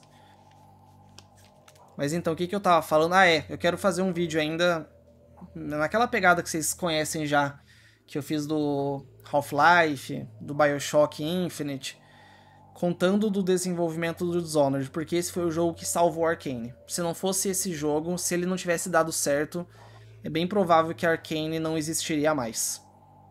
Ou que eles teriam sido rebaixados a só um estúdio auxiliar, que só ajuda ali na parte técnica e já era. E o desenvolvimento dele foi bem assim fugiu bastante do convencional. Duas equipes diferentes trabalhando no mesmo jogo, em locais diferentes do mundo, com fusos horários diferentes. É bem interessante essa história.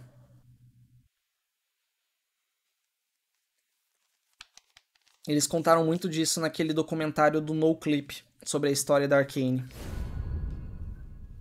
É isso, rapazes. Dishonored zerado, esse jogo maravilhoso, esse jogo lindo, perfeito do meu coração, que eu amo demais. Deixa eu voltar aqui, eu vou, eu vou fechar o jogo agora.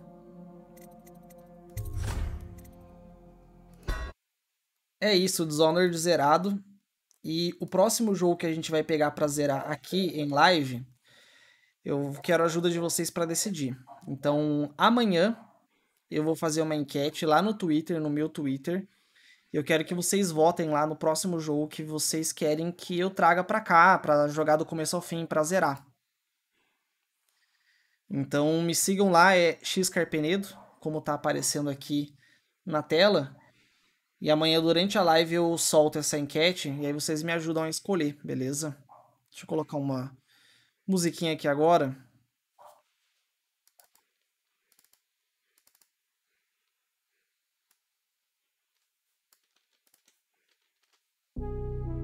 Aí tirar essa tela branca da minha cara.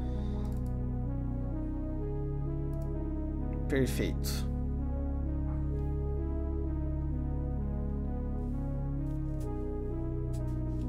Deixa eu dar uma olhada aqui nas mensagens anteriores do chat, que eu acho que alguém comentou sobre a música dos créditos ali.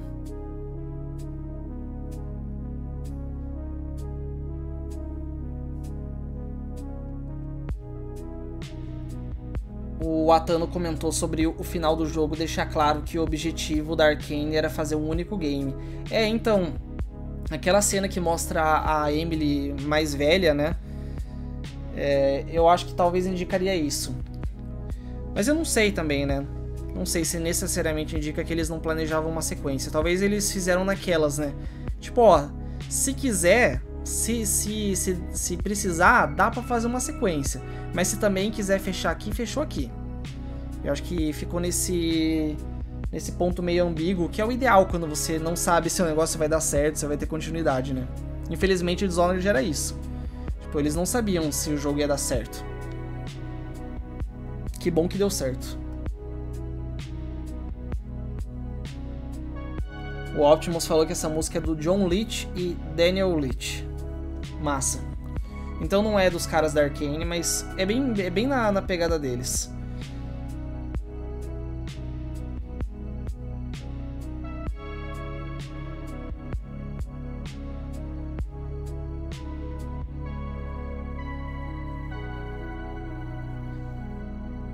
A Timbalinha perguntou: amanhã é que jogo? Então, amanhã eu acho que eu vou trazer o.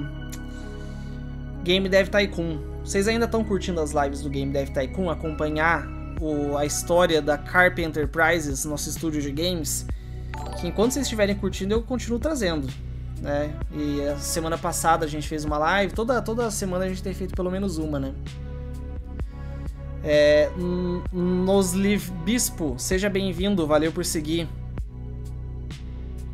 Mas acho que provavelmente vai ser o Game Dev Tycoon amanhã. Fala, Roger, beleza?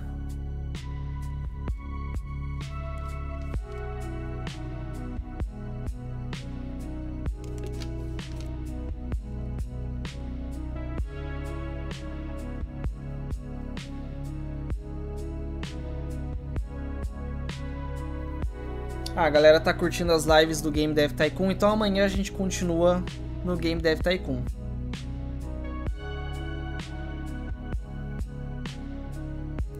E agora, rapazes, não, não planejado, né? Vamos, vamos trocar uma ideia. Eu faço live aqui sempre das 4 às 6, né? Então, às 6. Eu falei 6, não sei porquê. Das 4 às 6. Então, como eu zerei o jogo antes, dá pra gente trocar uma ideia agora até às 6 horas, né? tipo as nossas lives de conversa. O é, que, que eu ia comentar? Eu tava achando. É, olha, esse jogo é, ele tem uma inconsistência na, na duração das fases, né? Tipo, a, a, antepenúltima fase eu levei quase duas horas para passar dela. De tanto objetivo secundário, runa, é, de tão grande que era o mapa, foi aquela missão de invadir a mansão do. do como que é o nome do cara? Do Lord Regent. E aí eu pensei, tá, tem mais duas fases do jogo pela frente. Não lembrava exatamente a duração de cada fase. Eu, cara, uma fase para cada dia. Uma fase eu jogo na terça, outra na quinta. E essa semana a gente fecha o Dishonored. Mas não, na live da, da terça-feira eu já zerei o jogo e sobrou tempo ainda. Então, é, isso é uma parada que acho que o 2, ele, ele conseguir alcançar um balanço melhor. Tipo, as fases do 2 elas têm uma duração mais próximas, assim, umas das outras. E todas são enormes. Todas as fases do 2 eu tenho a sensação que elas são maiores do que. do que as fases do 1 um, em média. Não, Esther, o microfone que eu tô usando aqui pra live é esse cara aqui, ó. Não é o do headset. O microfone do headset é bem ruinzinho. Eu uso ele aqui abaixado só para ter um retorno da minha própria voz.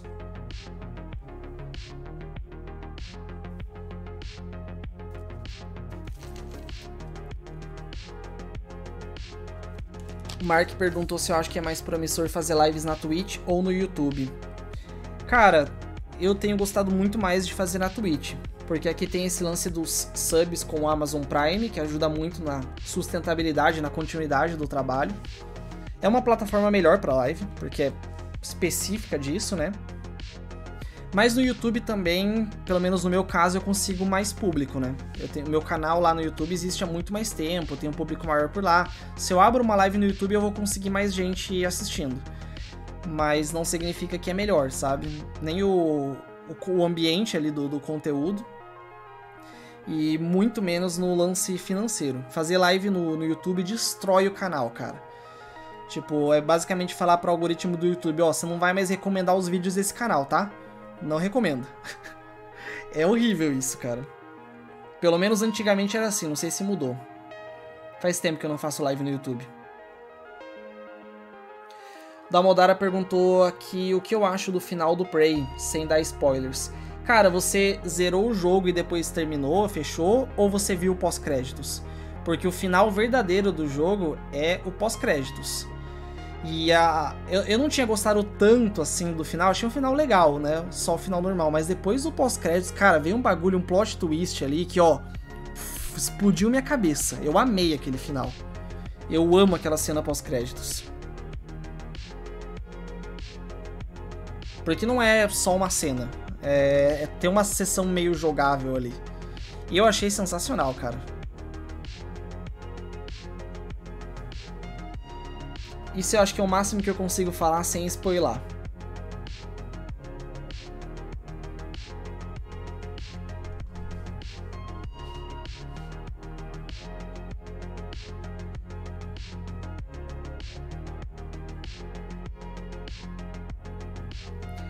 É, então, Timbalinha, é pior que é muito isso.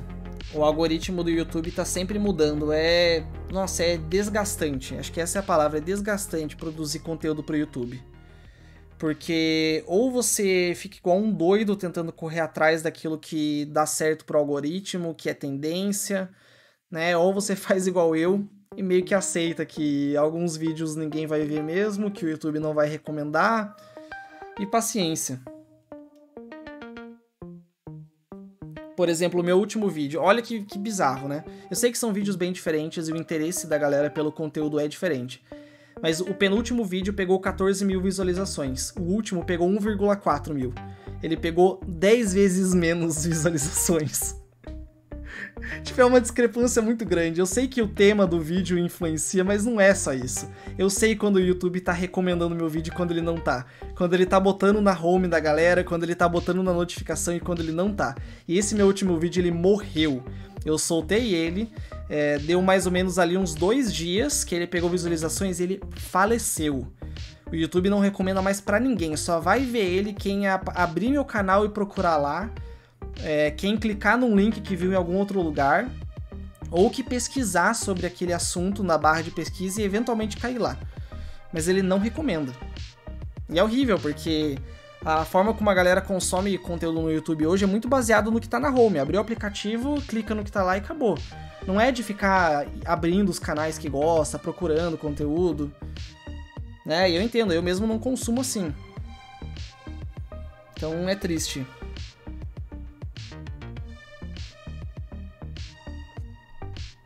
Falou, Ian. Abraço. Santiago, acabei de zerar o Dishonored.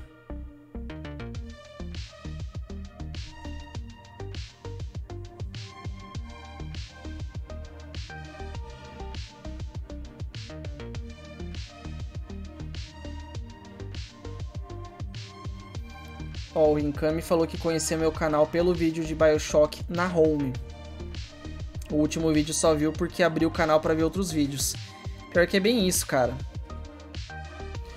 É que assim, é, esse meu vídeo do, do Bioshock, ele. Eu consegui fazer o, o vídeo que fura a bolha. Isso é o que a gente tenta sempre e raramente consegue, pelo menos eu não consigo muito que é fazer uns vídeos que, que sejam interessantes aos, aos olhos do algoritmo do YouTube, dos robozinhos do YouTube, ao ponto dele recomendar ele para as pessoas que não me conhecem ainda. Porque assim, se o YouTube só mostrasse os meus vídeos é, pra galera que já se inscreveu no meu canal, seria ótimo. Eu já ia estar muito feliz. Nem isso ele faz. É estimado que apenas 10% dos meus inscritos recebem os meus vídeos na notificação, na home.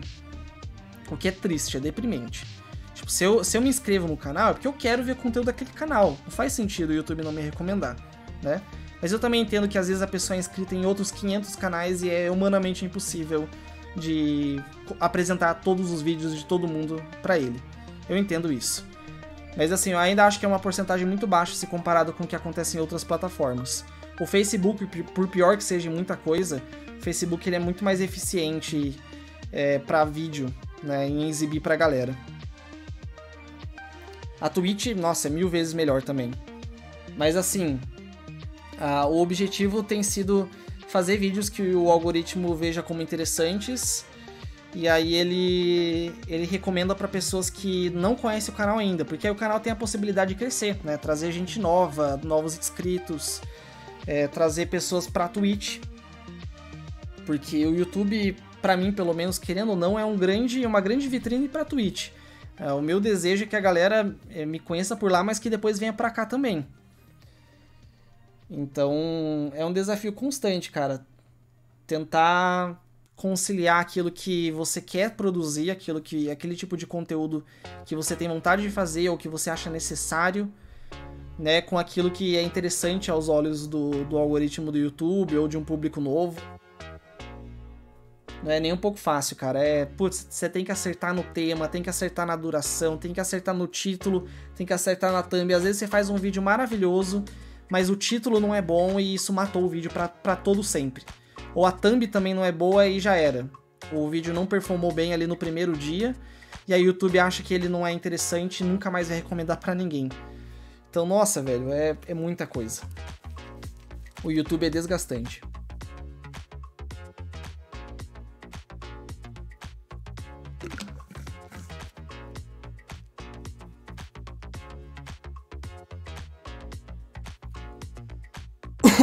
Thiago perguntou o próximo jogo que eu vou zerar. Vou fazer uma enquete lá no meu Twitter amanhã para decidir isso.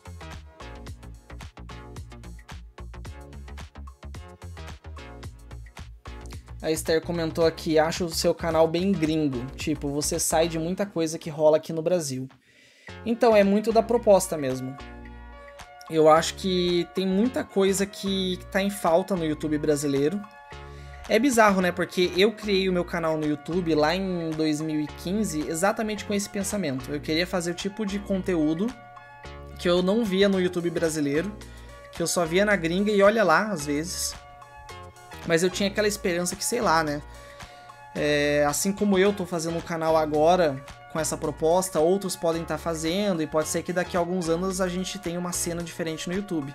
E que nada, bicho. Estamos em 2021 e ainda tem muita coisa que eu não que eu sinto falta, assim, que eu não, não vejo rolar no YouTube brasileiro. Dá um exemplo aqui, né? A cena do, dos FPS retrô.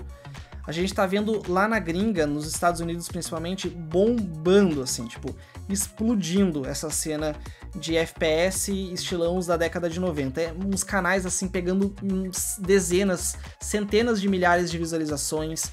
É os jogos vendendo pra cacete na Steam, né? Uma cena maravilhosa. E aí você vai ver no Brasil, tem nada. Tipo, não, não existe. Você vai procurar hoje um vídeo de Harot no YouTube, por exemplo, que é um FPS que tá bombando lá na gringa, só tem o meu. Tipo, em, em português brasileiro. Você vai procurar do Ultra Kill, tem o meu e o do Panda. Tipo, tem nada, cara. Então, o meu conteúdo hoje é muito nessa ideia de fazer o, o tipo de conteúdo que eu gosto, que eu gosto de consumir em primeiro lugar, né? Mas que eu não vejo a galera fazendo aqui no Brasil, que eu acho que é necessário, sabe? Que tem que ter alguém para falar dessas coisas, cara, porque não é possível que, que não vai ter isso, que você vai pesquisar lá sobre, é, por exemplo, sobre Crysis. Você vai pesquisar sobre Crysis no YouTube brasileiro, só tem gameplay. Porra, se o cara quer ver um conteúdo ali, uma análise, quer ver um conteúdo sobre o desenvolvimento do jogo, né? Não tem nada. Então, eu acho que é importante isso. Não quero soar pretencioso, né, mas é, essa é a minha luta, sabe? Meu conteúdo é focado em FPS, single player, é, primeira pessoa, essa pegada mais documentário, que eu acho que é algo que está em falta, é algo que eu gosto e que eu posso fazer é, com uma, uma certa qualidade.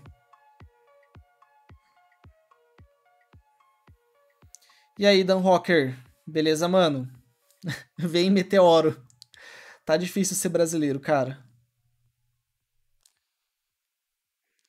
Mas assim, cara, eu, sinto que o YouTube brasileiro tem muita coisa que não vinga porque parece que não tem público. Tipo, eu não duvido que tem muitos criadores que já tentaram fazer um negócio diferente do que todo mundo tá fazendo, fugir da lógica de videogame que é só gameplay ou notícia comentada com opinião. Porque, cara, videogame no YouTube é, é só isso, cara.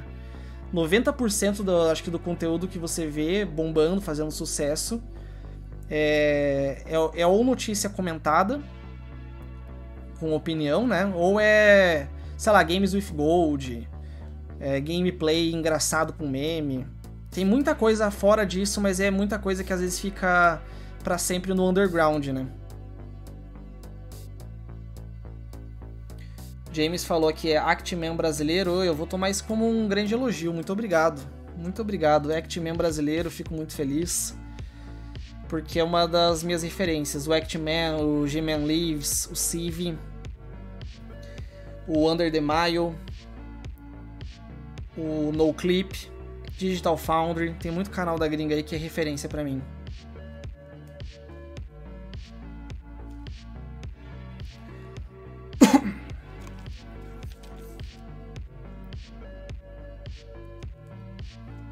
O Atano perguntou se eu conheço o canal Arroy. Conheço, maravilhoso. Um dos melhores e uma das minhas referências também. Adoro, cara. Já falei aqui antes, o meu sonho era ter uma voz igual a dele. O Mark Brown também do Game Maker's Toolkit, baita referência para mim, também tem uma voz maravilhosa. Tem aquele sotaque britânico, perfeito.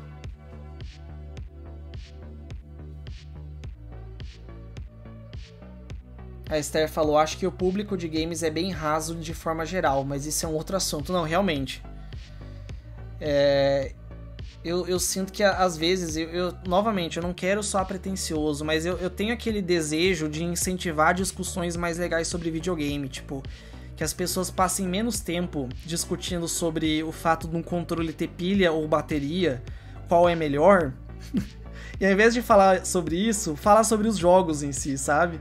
Falar da jogabilidade de um determinado game, da direção de arte dele, da trilha sonora, de evoluir um pouquinho a discussão, né? Porque videogame é uma mídia tão massa. Mas eu vejo que às vezes as discussões que estão no mainstream, assim, são sempre umas discussões tão rasas que a gente possa mudar isso, né? Um passo de cada vez, passos de formiga, mas vamos lá.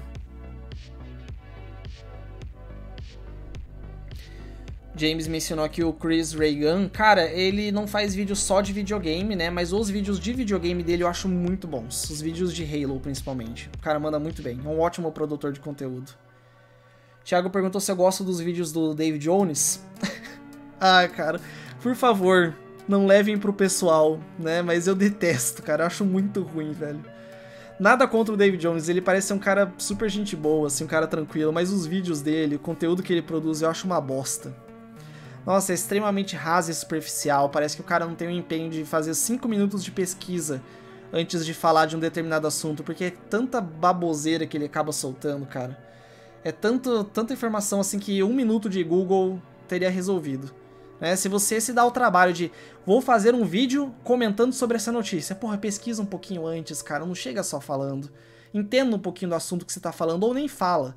Se você acha que você não é apto para falar do negócio, não fala. Tem uma mania hoje na internet que todo mundo tem que ter opinião formada sobre tudo. Não, cara, não é assim. É, não tem nada mais honroso de você admitir, ó.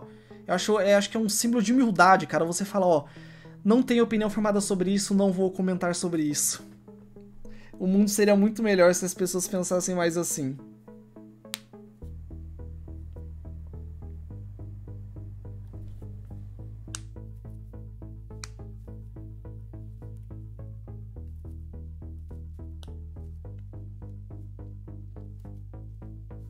Paulo falou sobre os muitos pseudo-jornalistas que só sabem opinar de forma totalmente parcial.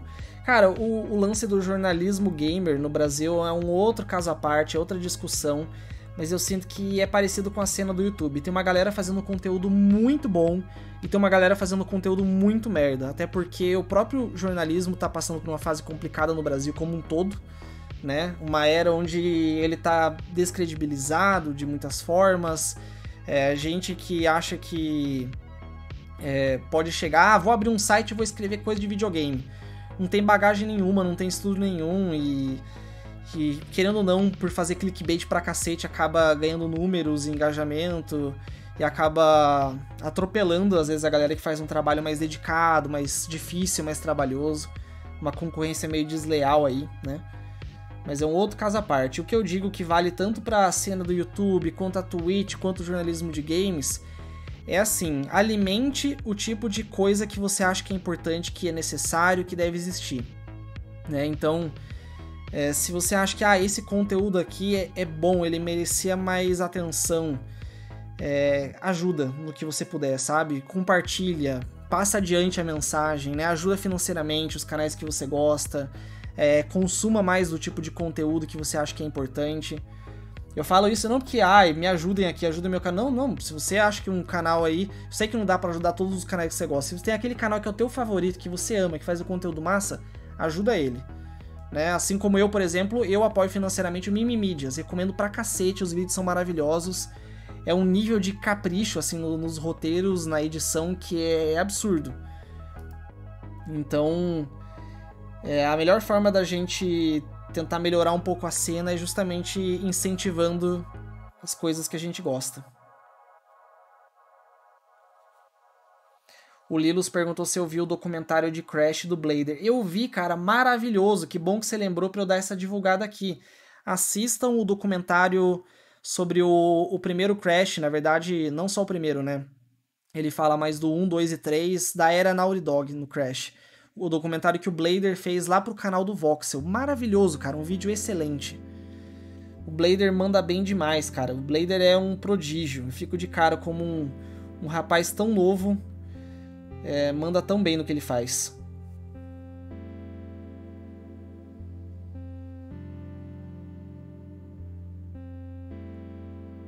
O Wallace fez um comentário muito importante aqui, relevante. Ele falou: Aqui no Brasil é difícil de se comprar um PC bom para jogar.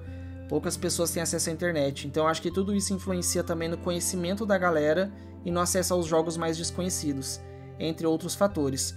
Cara, muito obrigado por ter falado isso, porque acho que no tom que eu tava trazendo a discussão tava até soando meio elitista, e não é a minha intenção, de verdade. Às vezes a gente tem que também sair um pouquinho da bolha enxergar que a grande maioria no, no Brasil sequer tem um Xbox One, um PS4, né, um, um PC para jogar, joga tipo no, no, smartphone mesmo, que é onde é acessível e não dá para se desconectar desse público que é tão importante, é gigante, né, não dá para se fechar na nossa bolha e é verdade, cara. Infelizmente essa essa discussão um pouco mais aprofundada sobre os videogames acaba sendo bastante elitizada também, né? Porque não é todo mundo que tem o mesmo acesso. Então acho que algo que com certeza faria diferença para a cena como um todo, né, de produtores de conteúdo, das discussões na internet, é a gente ver as condições do Brasil melhorarem como um todo, para que não, não seja o preço de cinco salários mínimos no videogame.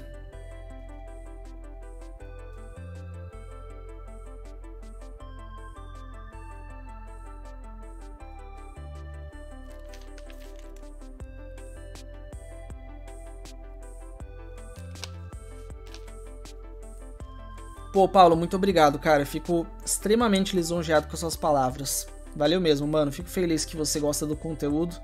Eu sempre falo, é, os meus vídeos demoram para sair, mas não esqueçam de mim, não me abandonem. o próximo vídeo tá demorando para sair, vai demorar mais um pouco, mas eu tô botando muito amor nele e quando sair vocês vão gostar, tenho certeza. Mas então, rapazes, eu tinha dito, né, que eu ia trocar uma ideia aí com vocês depois de zerar o Dishonored. A gente até se estendeu no horário, já passamos da, das 6. Então eu vou encerrar por aqui, porque já, já deu o horário mesmo, mas a gente volta amanhã. Lembrando, temos live aqui de segunda a sexta, começando sempre às 16 horas, 4 da tarde. Amanhã a gente está de volta e amanhã também eu vou fazer aquela enquete para vocês me ajudarem a decidir qual que vai ser o jogo que eu vou pegar para zerar em live né, jogar do começo ao fim com vocês, agora que a gente concluiu o Dishonored. É, espero que vocês tenham curtido essa jornada aí, essas oito lives, eu acho. Sete ou oito lives que, que eu fiz jogando Dishonored. É maravilhoso esse jogo, eu sempre gosto de revisitar ele, porque é um jogo muito legal de, de testar diferentes possibilidades, de também apresentar para uma galera nova que não, não conhece ele ou que nunca deu uma chance, nunca viu muito a respeito. Eu acho massa demais. James falou que vai ser Duke Nukem Forever. Cara, pior que, falando sério aqui, eu, eu não descarto a possibilidade de um dia trazer Duke Nukem Forever pra cá. Porque eu acho que vale pelo meme, pelo menos. O jogo é ruim, é ruim, mas vai ser engraçado, entendeu? Eu acho que dá para criar um conteúdo bacana. Mas é isso então, rapazes. Muito obrigado pela presença e companhia de vocês mais aí nessa live de hoje. Valeu pela força de sempre, todo mundo que tem, tem ajudado é, a propagar o conteúdo, né? Tava falando tanto disso. Eu acho que não dá pra eu, pra eu falar disso sem agradecer vocês, que é a galera mais engajada, que realmente compartilha os vídeos, que acompanha o conteúdo, que assiste, que ajuda aqui com o sub. Isso faz toda a diferença para mim. De verdade, fico feliz demais. Fechou? Então é isso, rapaz. A gente se vê amanhã então. Forte abraço para vocês. Bom fim de terça-feira. Aproveitem aí quem vai para aula, quem vai descansar, para quem vai é, brincar com o cachorro. Dá carinho no seu cachorro, no seu gato. Dá um abraço na sua mãe e beba água. É isso. Falou, rapazes. Fui.